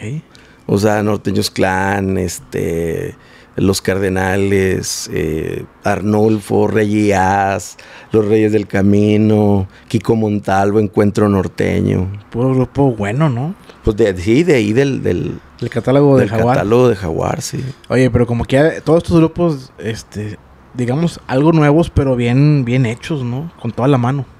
La verdad, sí. Por- es que si te fijas, había músicos haciendo grupos nuevos, pero con toda la experiencia como músicos, ¿verdad? Sí, sí, sí. O sea, allá había, oye, Kiko Montalvo, este, Encuentro Norteño. Eran músicos viejos, pero con, pero con, un, con un proyecto nuevo, pero con toda la Exacto. experiencia. Eso es bastante ventaja. Bastante ventajita. Sí. Oye, y sí, sí, sí hicieron mucho eco y mucho ruido estos grupos nuevos, porque sí, sí lograron adentrarse con el público. Sí, sí, claro, sí, sí lograron, sí lograron sonar, sonar bastante. Aquí, eh, pues los veías en todos, los escuchabas que estaban en todos los bailes, en todos los lugares importantes de aquí. Ok. Bueno, entonces pasa el tiempo, se va Ángel con el grupo Tejano y entra Pete. En- entra Pete, sí. El Pete, ¿cómo, cómo entra mi amigo Pete? Mira, hay muchas cosas que yo no recuerdo con claridad, este, pero entra eh, en, en lugar de, de Ángel. Eh, creo que Pete venía de un, de un grupo donde él no era vocalista ahí, creo que tocaba batería, algo así. Este, y ya después eh, entra, entra con Palomo y graba los, los covers estos y la verdad funcionaron, ¿verdad? funcionaron y seguimos, seguimos trabajando, Se- seguimos trabajando, eh, pero no se alcanzó a hacer nada inédito. Ujú. Sí. O sea, eh, eh, pegaron con los covers y, y estaba bien cimen- cimentada la idea porque sí funcionó con el público. Sí, sí, claro, sí siguió funcionando, o sea, sí, sí, seguimos trabajando. Qué chulada. Pasa un tiempo, ¿qué tanto? ¿Un año, dos años para que regresara Ángel? Sí, pasó, pasó algo de tiempo, eh, pasó algo de tiempo y este y ya eh, regresa regresa Ángel. Creo que cuando estaba Pete ya había un disco grabado, Ujú. Que fu- creo fue el primer disco, uno de una portada que sale un, un helicóptero ahí. Claro. Este, eh, un tema que se llamaba No estoy dispuesto, creo que era el sencillo de ahí. Y luego, después es cuando viene, viene Ángel y, grabamos un disco que eh, creo que es, ahí vi una canción que se llama No, no llores más. Y después, hasta el tercero es donde viene No me conoces aún. El trancazo. Ok, eh, tu estilo de tocar el acordeón, ¿lo fuiste puliendo con el tiempo? ¿O cómo practicabas? Porque ya vienen temas inéditos. Entonces ya, te exigía crear algo que no fuera una copia de algo. ¿eh? Pues, ay, eso, eso, fíjate, fíjate que mm, no sé si para bien o para mal, nunca fui fan de un grupo norteño, bro. Eso es bueno. Nunca fui fan de un grupo norteño. Digo, a mí sí me daba pena, ¿verdad? Porque cuando se juntaban a tocar, pues tú sabes que hay gente que se especializa en... En Ramón. Exactamente, sí. Cachorro. Entonces, pues no, no, pues como yo no me sabía nada de eso, pues nada más los veía, ¿verdad? este... entonces, eh, ya cuando se, se, llegó el momento de, de grabar, pues ya, como Dios nos dio a entender, a buscar alguna alguna idea. Yo creo que una de las cosas que, eh, una de las características en ese tiempo mía es que le buscaba algo que no fuera exactamente como el estribillo, ¿verdad? Algo que rompiera, que no fuera exactamente como el estribillo. Eso es lo más complicado de hacer, ¿no? Hacer una melodía distinta a, la, a, la, melodía de la, de la voz, ¿no? De la, o sea, eso es lo más complicado de ser un acordeonista. Sí. Lo más simple es tocarla como es, ¿va? Como va la, melodía. Pero hacerle algo nuevo y que todavía sea llamativo. Sí, este, pero bueno, digo, eh, de repente escuchas las, grabaciones viejas y dices, y mejor hubiera hecho esto, no me gustó cómo quedó ahí, ¿verdad? Hubiera hecho así. pero fue lo que en ese tiempo se, se quedó plasmado. Gustó. Pues funcionó, fíjate, funcionó. Ok, ¿Tú, ¿Tú, estudiaste con el tiempo algo de tonos, melodías, no sé, armonía? En su tiempo no. En, en, esa época no. Ya, eh, gracias a Dios que tuve personas que me influenciaron, que me ayudaron, como Cuquín Carmona, un director el maestro Cuquín, sí. para descanse. Sí, sí, no, no, no, la verdad es que que yo le aprendí bastante. Una persona bien humilde, que siempre compartía su, su, conocimiento. Y le aprendí muchas cosas a, Carlos Cabral Jr., este, a, las personas que nos tocaron este, en su turno como directores artísticos, les, les aprendí mucho. Y yo siempre tuve esa inquietud, mano. Entonces, siempre tuve esa inquietud de, de aprender. Fui muy autodidacta, ¿sabes? Tenía mis cuadernos llenos ahí de diapasones y escribía las escalas y acordes, etcétera. Pero la verdad es que no lo sabía usar, era muy preguntón, ¿cómo se le hace aquí? ¿Por qué esto? Porque obviamente que en, un minuto no te van a dar una lección de armonía, ¿verdad? Sí. Entonces te quedabas ahí con cositas, pero siempre había esa espinita. Hasta que estudié un libro de armonía, fue cuando entendí muchas cosas y empecé a aplicarlo, ¿verdad? Órale. Empecé a aplicarlo. Pero de ahí en antes, no, nada más así. ¿Y, alguna influencia dentro del vallenato en el acordeón? Sí, cómo no. ¿No practicabas sacando tiempo libre una vallenatita, una colombiana así? Eh, sí, sí, sí, claro que sí. Eh, cuando empezamos a tocar con Palomo y que empezó a, a, los eventos grandes y todo eso, pues ya no había tiempo de nada, pero pero sí, siempre me gustó. Eh, yo siempre he admirado a un acordeonista que se llama Alfredo Gutiérrez. Es una influencia grande para mí. Y este y por mencionar a un, acordeonista eh, de vallenato, al pollo, al pollo Irra. O sea, siempre, siempre, siempre este, me ha gustado cómo, cómo tocan. De ahí, pues agarraste alguna inspiración. Sí, la verdad sí. Y de todo, mano en lo norteño, para serte honesto a mí, de lo que yo escuché y lo que estaba a mi mano en esa época, pues fue lo de Ramón Ayala. y, yo creo que una mezcla de todas esas cosas, ¿verdad? sí, sí. Como quiera, eh, yo creo que fue clave en ustedes que tú no fueras un norteño 100% norteño, porque hiciste un estilo. Eh, bueno, eh, digo, gracias a Dios que, que pudimos eh, hacer algo, algo propio que obviamente que tiene matices de, de, de todo, porque Sí. no, no podemos decir que inventamos el, Pues es que el ya, hilo negro, ¿verdad? ya todo está descubierto, ¿verdad? pues agarramos Sí. de todo un poco y lo De mezclamos. todo un poco, sí. Pero, por ejemplo, yo noto que sí te ayudó mucho que no, que no seas 100% ramo- ramonero o, o cadete, porque, pues quieras o no, si eres bien fan del Ramón o de los cadetes, ahí metes una ondita va parecida y eso, y se nota mucho, pero en tu caso sí, sí noto que tienes un estilo, pues único, ¿no? De tuyo hecho a, a- tu gusto, a tu forma de ser. Sí, pues este, pues la influencia de todas esas cosas y, y lo hicimos. Ya después, cuando algo funciona, pues la disquera ya te dice, dale por ahí, dale por ahí, ¿verdad?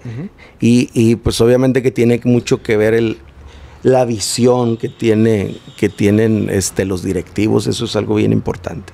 Así es. ¿Qué, qué, qué opinaba la compañía acerca de Palomo? ¿Qué, ¿Cuál era, pues digamos, el, el objetivo en sí? Eh, Poder colocarse dentro del mercado. Sí, yo creo que era eso. Eh, yo creo que sí lo lograron, mano. Sí lo lograron porque eh, hicieron muchos otros conceptos más, ¿verdad? Claro. Gracias a que tenían la visión y el recurso y todas las cosas, ¿verdad? El, eh, pero sí, sí, ah, aquí no sonó tanto el grupo, pero sí sonó en otras partes donde no sonaba tanto la música norteña, como por ejemplo en Tijuana, como en, en Los Ángeles, en, en otras partes, ¿verdad? Que no sonaba tanto en ese tiempo la, la- la música de, de aquí de Monterrey. Curiosamente, Monterrey ya estaba bien peleado, ¿no? Ya estaba ya bien saturado de grupos. Palomo fue uno de los que tuvo que buscar por otros caminos, por otras veredas, para poder acoplarse al, al mercado. Sí, sí, sí. Y pues, entre comillas, eso nos sirvió porque, pues, Monterrey con relación a todo Estados Unidos y todo México, pues está pequeño, ¿verdad? Entonces eso nos llevó a ir por toda la República Mexicana y por toda la Unión Americana. Es correcto. Yo, yo, yo, sí le pregunté a Homero cuando vino aquí la Bravata que por qué Palomo aquí no toca, ¿va? Porque son de Monterrey ustedes, pero aquí no tocan. ¿Por qué? ¿O ¿Qué pasa ahí? ¿Cómo está la cosa? Y me dice que faltó, pues, meterle a radio, meterle a promoción. No lo, no lo consideraban una plaza que ocupaban agarrar, ¿va? Mejor se fueron allá al sur, todo. Sí, así es. Entonces ahí está la, ahí está la cosa. Pero como quiera la música trasciende mucho cuando estaban con Disa. ¿Quién era la carta fuerte de, de Disa en, aquellos en aquellas épocas? Yo creo que estaba el poder del norte. Esa era la carta fuerte. Yo creo que era, y los cardenales, obviamente. Uh, grupazos. Sí, no, no, no, no, unos, unos monstruos en, en, muchas, en muchas partes, en muchas partes de México y Estados Unidos. Muy buenos grupos, cartas fuertes y, y que se han conservado todavía hasta ahorita. Sí, No sí, la de, verdad, no sí. dejan de sonar. Sí, fíjate qué curioso. Bueno, entonces llega el tema, no me conoces aún, de la compositora, ¿cómo se llama esta mujer? Floribón, Floribón. Quesada y Alan Trigo. Es coautoría. Coautoría, sí. Muy buena canción. Floribón también compuso Belleza de Cantina, ¿no? Sí, Muy sí, buena sí, tiene, tiene, tiene varios, varios temas. Muy buenos para componer. Sí, la verdad, sí. Dice Homero que la idea era de como tipo navideña, ¿no? La de ven a mi casa esta Navidad. sí, no, algo así. Tenía matices. Pues yo creo que se nos afiguraba eso, yo creo, sí, sí, sí. Fíjate. Oye, el, el goce, el acordeón, el inicio del acordeón, sí está perro, ¿no? Yo considero que el- muchos lo patean por copiarte. Híjole, fíjate que la verdad que fue algo espontáneo, bro. Fue Tal vez- algo es- espontáneo, la verdad que no fue nada planeado. Pues ya te han de haber contado que ya se había terminado toda la grabación, nos hicieron grabar ese tema, no lo queríamos grabar. Pero no recuerdo, la verdad, con mucha exactitud, pero no fue nada planeado. Solamente yo creo que Víctor dijo así, dale, y, y- y fue algo espontáneo, mano. Entonces, eh, no existía el copy-paste en ese entonces. Entonces, lo hice de una manera y la segunda vez tuve que tratar de copiarlo lo más parecido posible. Porque si te fijas, es tipo como un solo. Exacto. Es Tiene tipo- muchos adornos. Sí, es como un solo. Entonces, este. pues salió espontáneo, fue algo que salió espontáneo. O sea, ¿no ensayaste previamente a la canción? No, para nada. O sea, fue así, vámonos así. Sí, sí, sí. Sí, así, es, eso fue espontáneo. Oye, pero si está bien, si está bien, bien ejecutada la idea. No está, digamos, amateur, está impecable. Sí, no, no, pues gracias a Dios que, que, que pudimos eh, dar ese aporte, así se puede decir de esa manera. Es un goce que se quedó para la historia de la música norteña. Sí, sí, sí, pues es algo que, que, que, que se quedó ahí para la historia y, y pues es la, la- Oye, ¿cómo le haces ahí? Te- todavía te siguen preguntando. Todavía te preguntan. Sí. es que, cre- cre- quieras o no, para el acordeonista promedio es como ah, sacarla, ¿verdad? Como es. Suena muy llamativa esa, esos arreglos de acordeón. Sí, pues sí, son escalitas que, que no eran... No se implementaban mucho, ¿verdad? En esa época. Escalitas. Eh, ¿qué- ¿Cómo se llaman esas escalitas? Bueno, pues son, es- son escalas de blues. Vámonos. Es una escala de blues. Depende cómo el de qué, de qué parte la quieras mirar, ¿verdad? Suena pentatónico, pero es una, una escala de blues. Pero sí está bien pensada, ¿no? Me imagino tuviste que es- es- Estudiarla. sí. estudiarla. Sí, La escala y todo eso. sí. Ahí surgió la magia. Sí, bro, sí, ahí salió. Fíjate, qué curioso. Muy- suena muy, suena muy, muy progresivo. Progresivo, o sea, mm, suena como si fuera, como tú, como si fuera un solo, ¿no? Suena, suena padre. Sí, sí, este, pues ha gustado mucho. Ya después se hizo otra versión con, con, con Lucero, pero ahí ya la cambié, la hice diferente. Ahorita que dices otra versión, creo que hay como ocho versiones diferentes, ¿no? no sé. o, Homero, no sé. Homero tiene muchas, muchas ideas. De repente lo, lo sacaron, creo que con rayados, ¿no? Y- o, con, o con tigres. La, no, mi- la no. la misma eh, melodía, pero le ponían, le cambiaban la letra. Ah, órale, no, de eso ya no supe. No, de sí. eso ya no supe. También en versión pop y versión con banda y versión Ah, con... sí. Sí. Bueno, yo la grabé, pues la, el tema original ese y luego con, con Lucero, ¿verdad? Ok. También grabaste tú. Sí. Fíjate qué bonita experiencia, ¿no? Por- ese tema funcionó muy bien. Yo te digo, yo, yo, yo, yo confundía esta canción que yo pensaba que era intocable. Cuando estaba yo en la, en la prepa, yo creo. No, hombre, eso es intocable, va. No, es Palomo. Ah, caray, Palomo. ¿Quién es Palomo? Sí, sí, pues apenas empezaba ahí la cosa. Empezaba ahí la cosa. Sí. Bueno, también ahí vienen temas como la de No me queda más, por ejemplo. Otro bolero muy bonito. Sí les pegó mucho la onda bolero, ¿no? Sí, sí es lo que te digo, que, que, pues, la, la disquera mm, ve por dónde va la cosa y luego después pues ahí- por ahí te tienes que direccionar. Y sí, sí vinieron muchos, muchos temas eh, a ritmo de bolero que, que funcionaron y pues ahí que ahí se, se quedaron en el catálogo, ¿verdad? Es correcto. Sí. También de, de uno de todos los modos, por ejemplo. Que no puede faltar esa canción. Sí, fíjate que ese tema, este, e- ese tema desde un principio, o sea, se hizo con el propósito de que se consagrara para las bodas. ¿eh? O sea, esa fue la intención. Esa fue la intención original en un principio. De hecho, toda la intención era que sonara como un trío, bro. Y, y de hecho le queríamos meter requinto y todo, pero no se dio. Y si tú escuchas la, la- el- el- el- la versión original, hasta unas maracas tiene. Como tipo el trío, como los dandies. Sí, y unas maracas originales, ¿eh? O sea, Vámonos. no, no era una máquina, era una persona que, que grabó la, la- las, las maracas. Y luego ya después le hicieron una versión en mariachi, que esa la grabamos allá en, el, en, en la Ciudad de México. La fuimos y la grabamos. Entonces, ahí me dice el, el director ar- artístico, me da la partitura para que grabe el, el solo del acordeón. Sí. Le digo, no, ya me lo sé.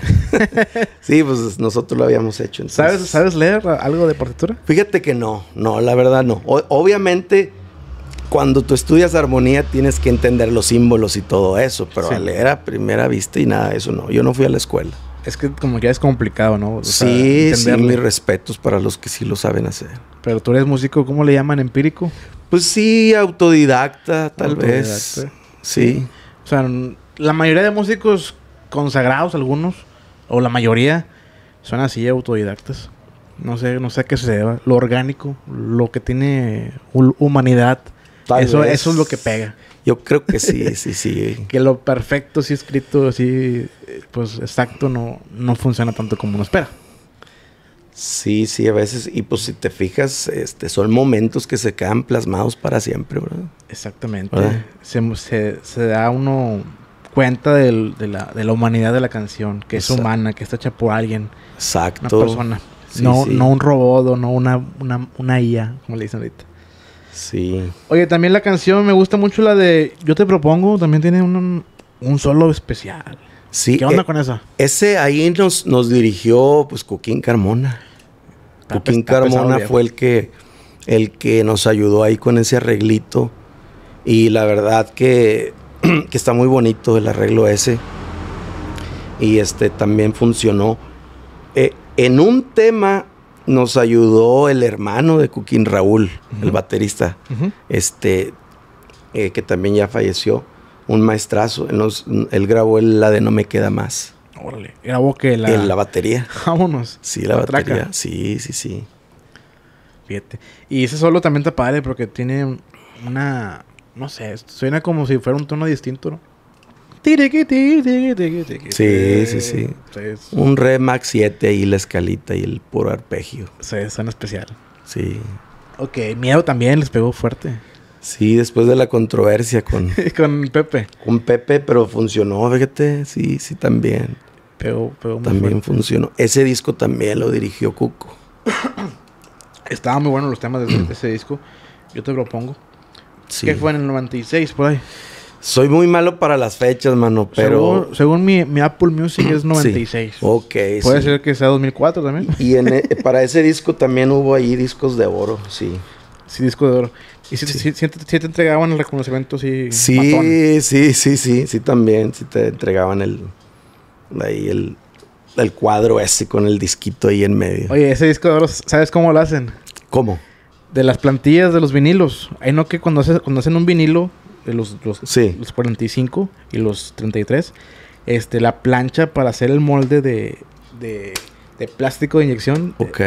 usan una, una plantilla que es como de, de, de un fierro acero, no sé, Sí. y lo planchan. Entonces, cuando ya el disco ya, ya no se ocupa, queda esa plantilla. Entonces, Ah, la sí. pintan de dorado Órale. y la usan como disco de oro. Ah, qué interesante. Y me dijeron, nada se desperdicia de la, de la, de la fábrica de vinilos. Órale, Hasta los padre. masters que ya no funcionan, los, los, los convierten en disco de oro. O disco de platino, además los, los pintan. Qué tremendo, sí. sí, sí. Bueno, y también intenté olvidar todo tu temazo, temazos. Eh, hubo muchos cambios de vocalistas, ¿va? Y- Después de que se sale otra vez Ángel, entran. mm, ¿Cómo se llama este? Que eran. Que era este. Que, que grabó la de. ¿Cómo se llama esta canción? Este chavo que toca el acordeón, que estaba con. Ah, Pedro Guzmán. Pedro Guzmán, ¿verdad? Sí, grabó. Creo que dos discos. Sí, una muy bonita que sí les pegó. El infil más fiel, ¿verdad? Eso es- Eh, ese, sí, sí. eh, la grabó esa. eh, a un suspiro. Eh, Él venía de con Zaino o algo así. Con Zaino, sí. Un grupo también de, de Homero, Sí, sí, sí, así es. subsidiado. Ok. Y también entra una parejita, ¿no? Que, que- Ah, eh, sí, este. Tomás Gámez Tomás y Gámez. Arturo Leija. Fíjate. Sí, Arturo Leija. Sí me acuerdo de ver, de ver algunos videos ahí cuando estaban en programas con Tomás Valdés y Los Inmortales. Que hacían el... Hacía como que así la... sí. hacían coreografía. Sí, no, sí, sí, sí. Este. No, Arturo es. mm, canta. Canta muy bien, es muy, muy versátil. Claro que sí, la verdad sí me acuerdo de esas épocas porque yo estaba bien chavalo.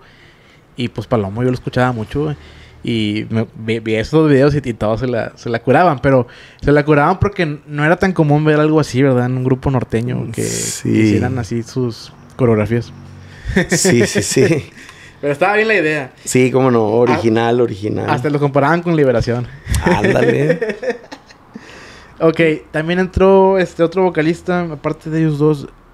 Eh, no, ¿verdad? No, Si no no. me equivoco. Entonces fueron todos ellos, ellos, ellos cuatro. Pete, Ángel, la parejita Sí, y, y- y Pedro. y Pedro Guzmán. Sí. Fueron cuatro cantantes diferentes. Sí, así Y pues es. cada uno hizo, hizo su lucha en, Sí, claro. en, en- en- colocarse en, la agrupación, ¿verdad? Sí, así es. Este, también me gusta la del otro.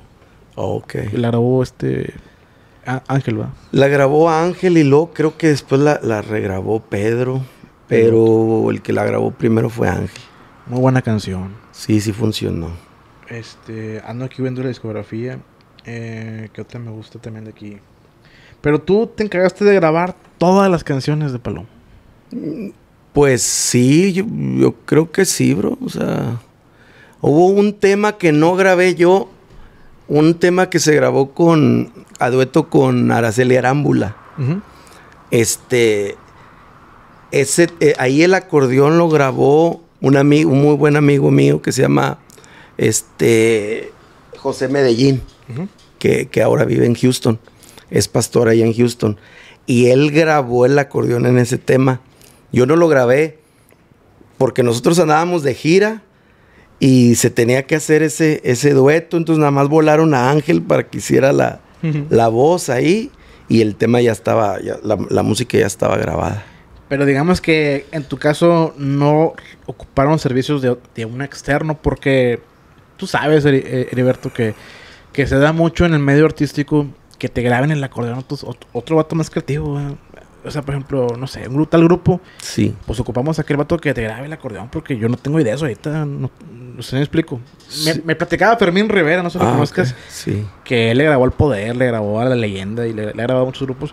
Que se da mucho eso porque pues a veces el artista anda de gira, anda trabajando y, y no tienen las ideas para crear nuevos sonidos y requieren el servicio de un músico experimentado Sí. que te arregle las canciones. Sí, no, no, fíjate que no, pues eh, eh, digo, muchos de los arreglos, este, pues ahí también tuvimos que ver en eso, ¿verdad? En, en la mayoría de los arreglos de los temas. Y, y muchos discos, yo creo que la mayoría los hacíamos ahí, mano. O sea, llegabas de la gira, directamente te ibas al estudio, tal vez no sabías ni qué temas ibas a grabar, los escuchabas y en ese momento los hacías. ¿A qué se debe esta obsesión de grabar tan- tantos, tantas canciones de, con Palomo? ¿Sí grabaron demasiadas canciones? ¿O hasta regrabaciones algunas? Mm, Sí, no sé, no sé, cuestiones de la, de la, de la compañía, De la no, no empresa. de- desconozco, pero sí se, se hacían este eh, mucho trabajo. Y en ese entonces, obviamente que en un disco salían 10, 12 temas, pero grababan más. O sea, grababan más. Y este. Y, y- y, pues era mucho trabajo. Yo, yo, yo recuerdo que yo iba a grabar acordeones, pues tenía que estar desde el principio hasta el final de, lo- de las producciones, ¿verdad? Este, entonces iba a grabar acordeones y, y yo me iba y me gustaba hacerlo en el menor tiempo posible, mano. Si, pues, si podía en dos días, en dos días hacerlos, porque sí, ya venías fastidiado de, de, de las giras y luego ir a te encerrar en el estudio y aunque te diera la madrugada ahí, pero, pero terminar. Como quiera, eh, Palomo tiene mucho trabajo, ¿no? Siempre se han, se han considerado que tienen, tienen demasiado trabajo en todo México. Sí, sí, en toda la República y en Estados Unidos. Qué chulada, ¿no? Por Sí. parte de, de la compañía de, de Homero. Este, bueno, entonces tú grababas todos los temas. También grabaste también la de, la de mi, marciana con. Sí, También está buena esa. sí, el arreglito ahí lo hicimos. Qué chulada. Ok. Bueno, ahí te va la cosa. Eh, Heriberto, ¿actualmente qué se dedica? Actualmente. Tengo un taller de acordeones en el poniente, en el área de San Bernabé. Tengo un, tengo una- un taller de acordeones. Eh, soy representante de la marca de acordeones Brillington en México, también desde hace 20 años. Le doy las garantías a la, a la marca. De, este, trabajo directamente con Isaac Brillington y ese es mi trabajo secular. Pero, al- pero lo que yo hago personalmente ahorita, después de desde hace tres años que, que- que me salí de con el grupo Palomo, para dedicarme a servir a, a Dios, ¿verdad? Ujú.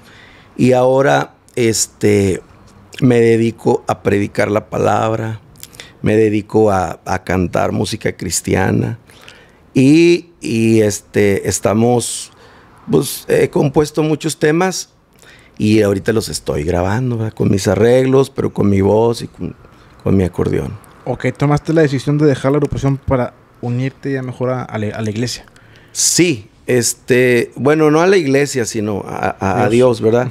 Este, y tomo la decisión de, de dejar la, la- la música para, para, para servir a Dios, pero igual sigo tocando, ¿verdad? sigo, sigo, sigo, sigo, este, eh, presentándome eh, con música cristiana y, y también lo del taller de acordeones. Ok.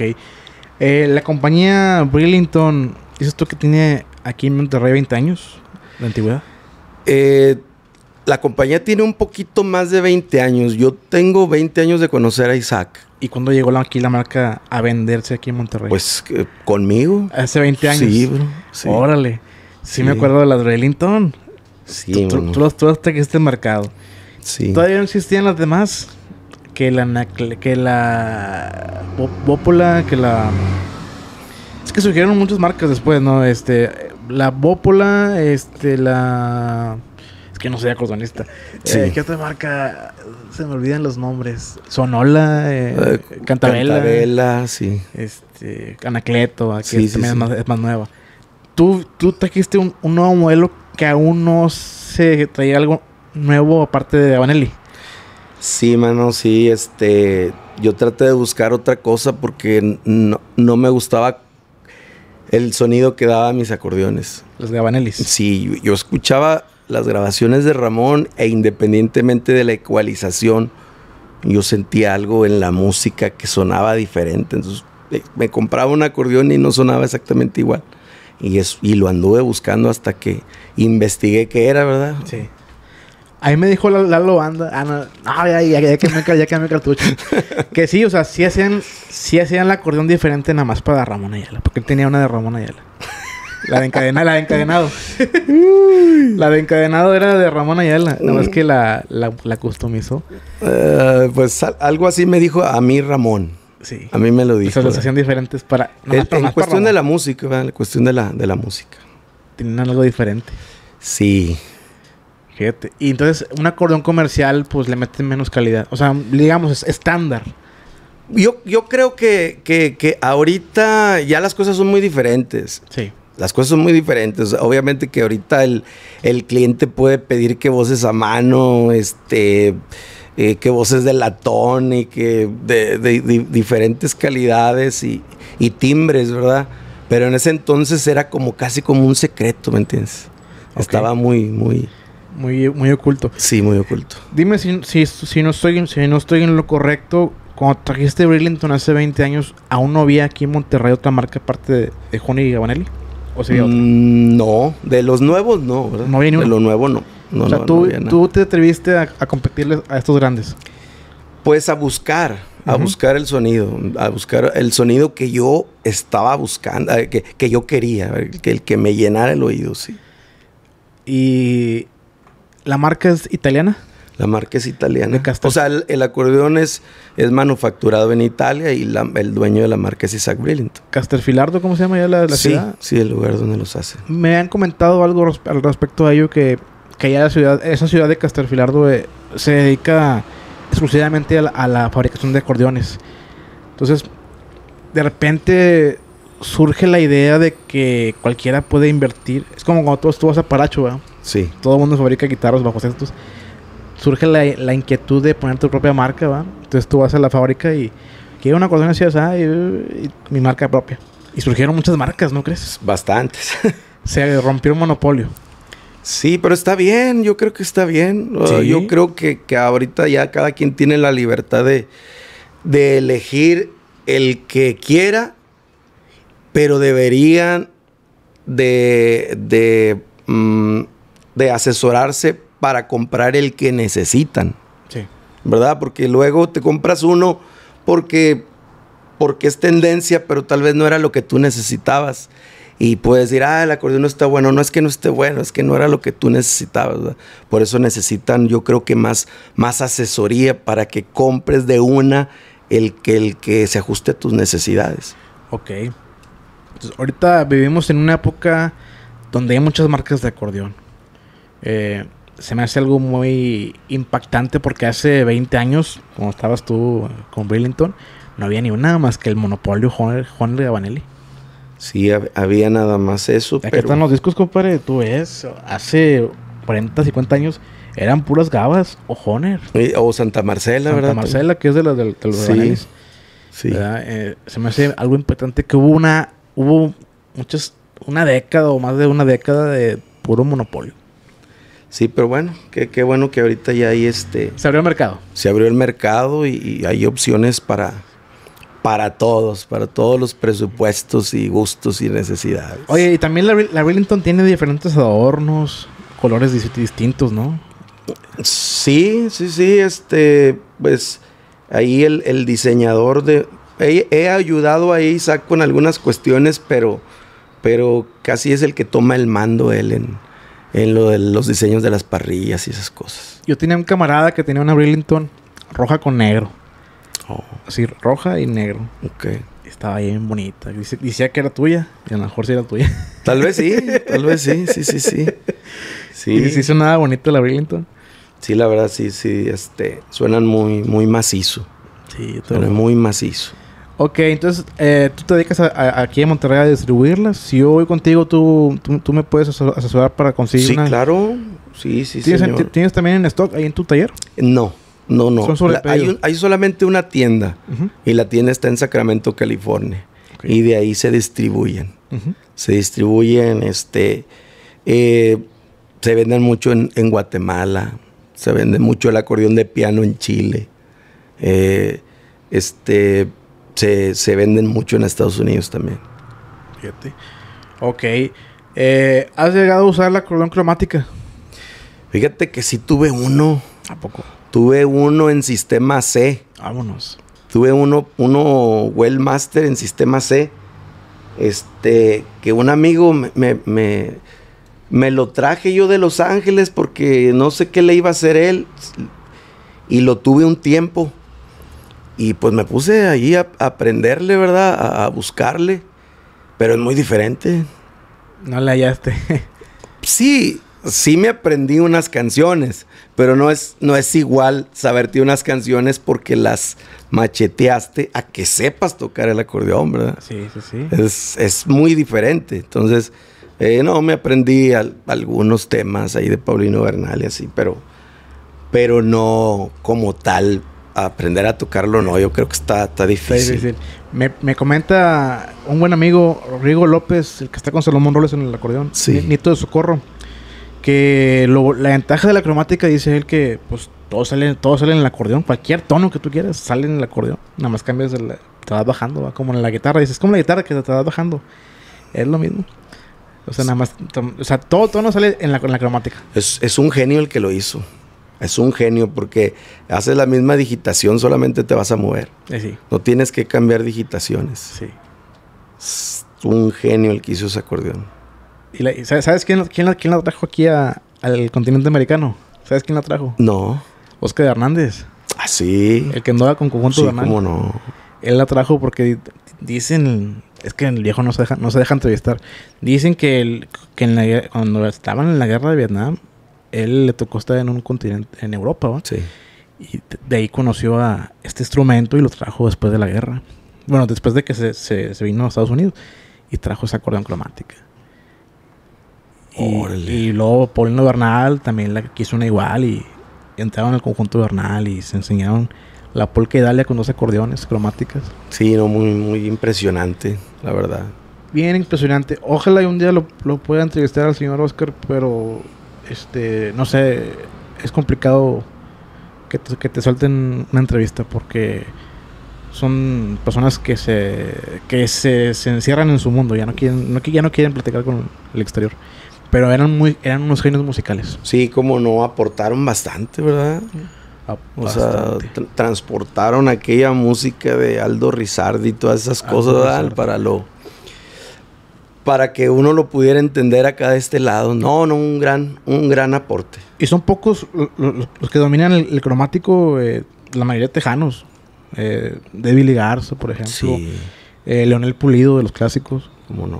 Este, ¿qué otro se me escapa? Bobby Naranjo de los de los Chachos y muchos grupos que usaban cromática. Y aquí en México también había varios, pero lo- la tocaban sencillita, la tocaban sencillita. Hay uno que se llama Valerio Celedón de aquí de de, Tamaul- de Nuevo León y tocaba la cromática, pero la tocaba pues sencillito, no tan no tan complejo como Oscar de Hernández y todo eso. No, pues tú sí sabes, yo no, yo no sé nada de eso. Yo la verdad no sé nada de eso. Me estás diciendo puros nombres que no conozco. Yo nomás conozco a Ramón Ayala y a los cachorros y a los cadetes. Qué loco. No, te lo comento para que la gente también lo sepa. Para sí, que la gente... no, es que es, es bueno. Sí, no. es bueno. es- Hay, que, hay que investigar toda esta información. sí, Yo la- yo es te- historia. Lo que te digo son, son puros también volados. No crees que lo que te digo es completamente cierto, pero me quiero acercar a la verdad. ¿verdad? Eso es bueno. Eso es lo que uno busca. Bueno, ya me desvié un poquito del tema. Estábamos platicando de, de- de la compañía Brillington. Tú eres el, el- el que se encarga de la, de la distribución aquí, aquí en Monterrey. También te dedicas a, a reparar acordeones. A reparar acordeones. ¿Qué tan repara- reparación? ¿Qué tanto? ¿Qué tanto reparas el acordeón? No, pues todo lo que es mecánico, todo. También afinaciones. Afinaciones, cambio de tono. Cambio de aceite. de- Balanceo, alineación. No, no, no, todo lo que es lo mecánico. Lo mecánico. Todo, o sea, varillas. Burros. Sí, todo, todo, mano, todo. En acordeones de piano cromáticos, de, de, eh, diatónicos, este, en eso. Y fíjate, a mí, bueno, yo tuve la, la bendición de aprender con Isaac Brillington. Él te enseñó. Él me enseñó a mí. Oye, oye, este viejón, ¿a qué se dedica? O sea, ¿él, él fabrica? Eh, no, no, no. Él tiene su tienda. Él, él- él es este, Vendedor. el, el vendedor, sí. Y también sabe moverle las Ah, acordeones. sí, eh, pero acordeones más complicados. O sea, acordeones gigantescos con sistema electrónico y. O sea, otro mundo. Sí. Ok, y la compañía inicia a- para entrar al mercado norteño. O sea, porque tú No. sabes. ¿O cuál fue la idea de Brillington? No, no. En, en, el- en un principio todos sus clientes eran.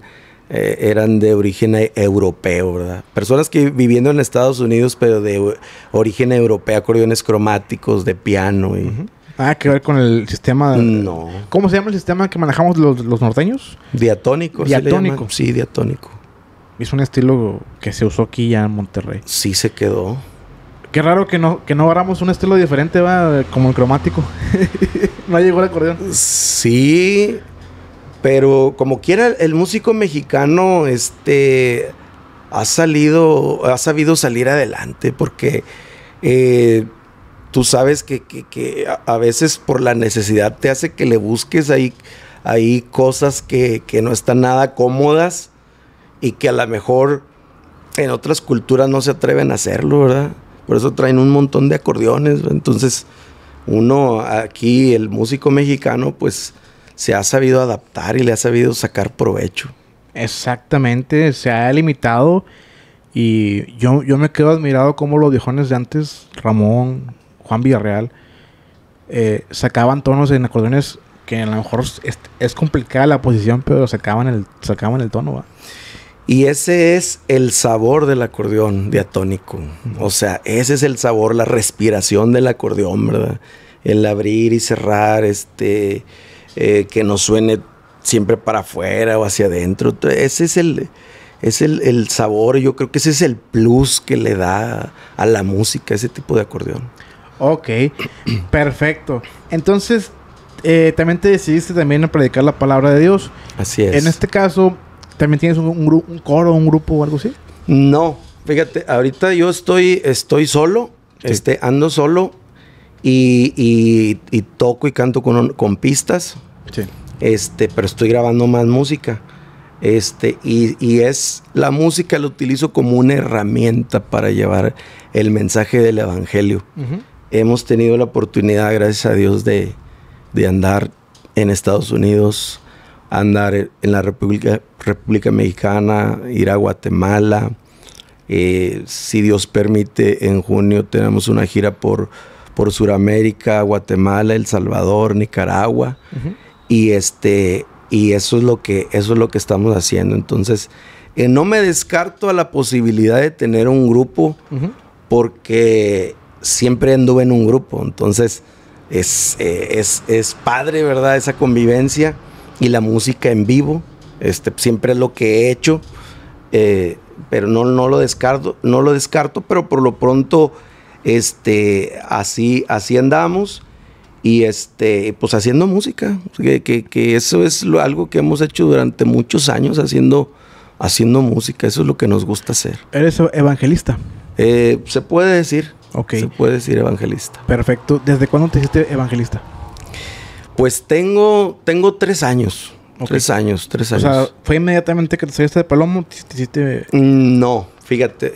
Yo conocí de Dios siete, siete años antes de que me saliera de Palomo. Ya conocía de Dios. Tuve un encuentro con el Señor. Él cam- cambió mi vida, me transformó.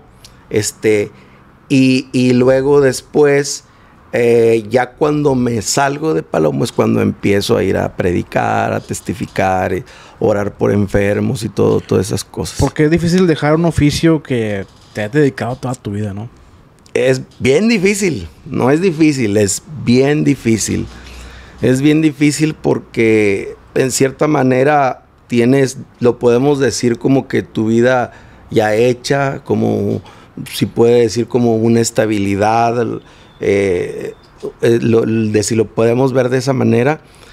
Pero este dice, dice, dijo Jesús, den de gracia lo que de gracia han recibido. Y eso quiere decir, den gratis lo que gratis han recibido. Entonces, este, pues por amor, por amor a Dios y por amor a la gente, este, dejamos las cosas eh, de la música secular y ahora compartimos un mensaje totalmente diferente, ¿verdad? Con música de acordeón, sí, pero con un mensaje totalmente diferente. Fíjate que qué bueno que te aventaste en este nuevo giro, nuevo ruedo en tu vida. Eh, yo he notado que algunos son cristianos y dejan su trabajo su- o la música y de repente regresan, compadre. Pues no sé, la necesidad económica, lo que tú quieras. Y, se- y, y lo- y los, los ven mal y los despotrican. No, no, no, no quieras la fe y el religioso. y que Eso, es- eso es lo, lo que tú vas a tener que lidiar en un futuro, Dios no lo quiera, que te van a ver mal si te si tú otra vez regresas a la, a la música pagana, por así decirlo. Sí, este, no, pues no está en nuestros planes, ¿verdad? no está en nuestros planes. No te digo que no nos han invitado, sí nos han invitado a armar otros, Sí. Eh, pero la verdad estamos, creo yo, estamos en- este, bien cimentados en lo que creemos. Dios ha sido fiel, no nos ha faltado nada. Este, y lo que hacemos lo hacemos con, con todo el, el- amor y el, el- el gusto. Este, y, y, pues no, no, no me veo yo así, ¿verdad? Eh, eh, quisiera, quisiera que Dios me diera la posibilidad de, de llevarme a más lugares y, y- y simplemente contar lo que Él hizo con mi vida y, y decirle a los demás que también puede hacer con- hacerlo con la de ellos. Ok. ¿Se podrá contar cuál fue la razón exacta de tu encuentro con Dios que dijiste hace como siete años que te pasó? Eh, ¿Cuál fue? ¿Fue algo, algo fuerte en tu vida? Sí, mano, sí. eh, no, no puedo ser muy puntual, pero la verdad es de que, de que cuando no tiene uno mm, una buena dirección en su vida, cuando eh, quizás está perdido uno en, en cosas eh, que no convienen, a veces te llevan a meterte en situaciones bien complicadas, mano. Complicadas donde no, donde nadie te puede ayudar. O sea, le das vueltas en tu cabeza, este, de qué manera poder arreglar algo y, y, y- y- quizás te encuentras en la situación en que no tienen una solución humana. Y yo creo que lo que le llaman tal vez muchos es que, que, que tocas fondo, ¿verdad? Eh, yo me encontré en una situación así. Y este, pues eso trajo mucho desorden a mi vida, en todos los aspectos. En todos los aspectos. Eh, no sabía yo a quién recurrir. Y yo busqué a Dios en las religiones, pero no lo encontré. Pero un día, de todo mi corazón, en una habitación de hotel, por primera vez llorando y quebrantado, sin ganas de seguir adelante, con una depresión muy tremenda, caigo de rodillas ahí. Y, y le hablo a Dios. Eh, ya había escuchado yo que el nombre de Jesucristo es el nombre que tenemos que invocar para ser salvos. Lo invito a mi vida, le digo que entre a mi corazón y que me cambie, que me haga una nueva criatura. apenas mis rodillas se despegaron del suelo, yo sentí como una carga bien tremenda se cayó de mi espalda. Fui llenado con un amor líquido que yo no te puedo explicar, que nunca en mi vida experimenté, con una paz y a la vez una alegría, un gozo, que todo lo que yo había vivido en las cosas, el éxito, la fama, lo que tú quieras mencionar, nunca me lo había dado. Entonces, ese fue mi encuentro con, con el Dios que hizo los cielos y la tierra. Y este, y cambió mi vida, ¿verdad? Cambió mi vida para bien. eh, ha ido transformando todo eso que estaba destrozado, lo ha ido este, haciendo nuevo. Y ahorita esa experiencia, porque hay miles de personas que se encuentran en esa situación, que quizás no saben a quién recurrir, no saben a quién ir, no saben qué hacer. Este, a esos es a los que va dirigido este el mensaje que nosotros vamos llevando por el mundo, ¿verdad? Este, a través de la música y a través de la predicación. Fíjate, qué, qué bueno que te abriste con nosotros para que todos podamos acompañar tu, pues tu, tu cambio, ¿verdad? Tu, tu transición. Y qué bueno, compadre, porque la depresión no se la deseamos a nadie, porque te, te lleva a cometer errores y a veces hasta irremediables. Sí, es algo, es algo muy, muy fuerte, muy, muy delicado. Y este, yo le aconsejo a las personas que pidan apoyo, Siempre. que no se queden callados, que, que lo platiquen, ¿verdad? Con alguien de, de suma confianza. Eh, yo sé que este no es un programa religioso, pero mi consejo sería acércate a Dios, porque es el que te puede sacar adelante de eso. Así es, y también la gente que, que ve este programa, pues caras vemos, pero no sabemos qué problemas traen detrás. detrás. Así que hay que ser bueno con la gente, a veces no ser tan fuertes. ¿verdad? Sí, pues hay que, hay que aprender a, a sobrellevarnos. Oye, compadre, ¿tienes hijos? Sí, sí, tenemos. ¿Cuántos? Mi esposa y yo tenemos tres hijos. Este, Noé tiene 21, 23, Sofía 20 y, y uno chiquitillo de 12, Dieguito. Dieguito, ¿cuántos de ahí músicos? Pues fíjate que Noé empezó tocando eh, sax- eh, trombón, trompeta y ahí en la iglesia, ¿verdad? sí. Este, y ya no le gustó, pero el, al chiquitillo, este, ya, ya, ya quiere el, el acordeón, ¿verdad? Sí se ve que tiene... Sí, y, ah, y el, y el bass, Vámonos. el bass. Y luego como está bien bendecido, como que le queda más el bass.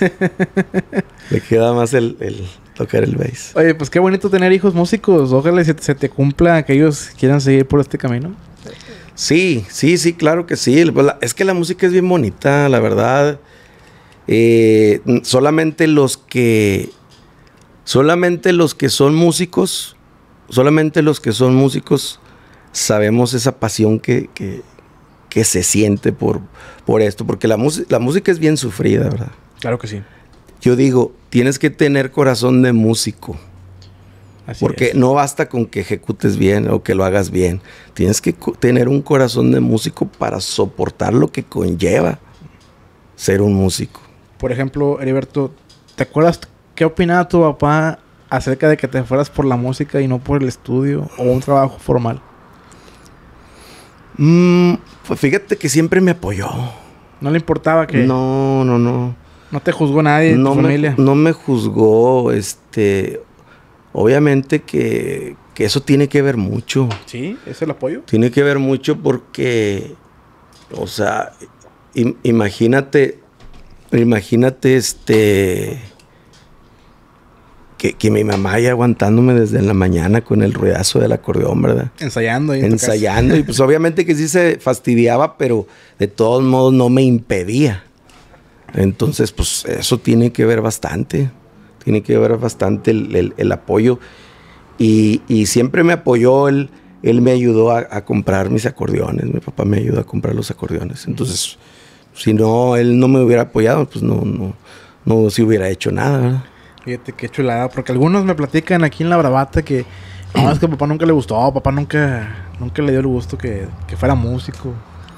Eh, Aquí fue diferente, aquí sí te apoyaron. Sí, sí me apoyaron. Y es que antes como que era bien mal visto eso, ¿verdad? Bastante lo consideran, consideran al músico el peor oficio de todos los oficios, pues lo consideran como el, el que se desvela, el borracho, el mujeriego, lo peor de todos los, los vicios, ¿verdad? Sí, sí. Y es que, bueno, en algunos casos, pues hay al- algunos, como fue mi caso, pues que caemos en todas esas cosas. Y hay unas, hay unas personas que no, ¿verdad? Y qué bueno. Este. Pero siempre está, la- está ahí la tentación, siempre. Uh, sí, todo el tiempo.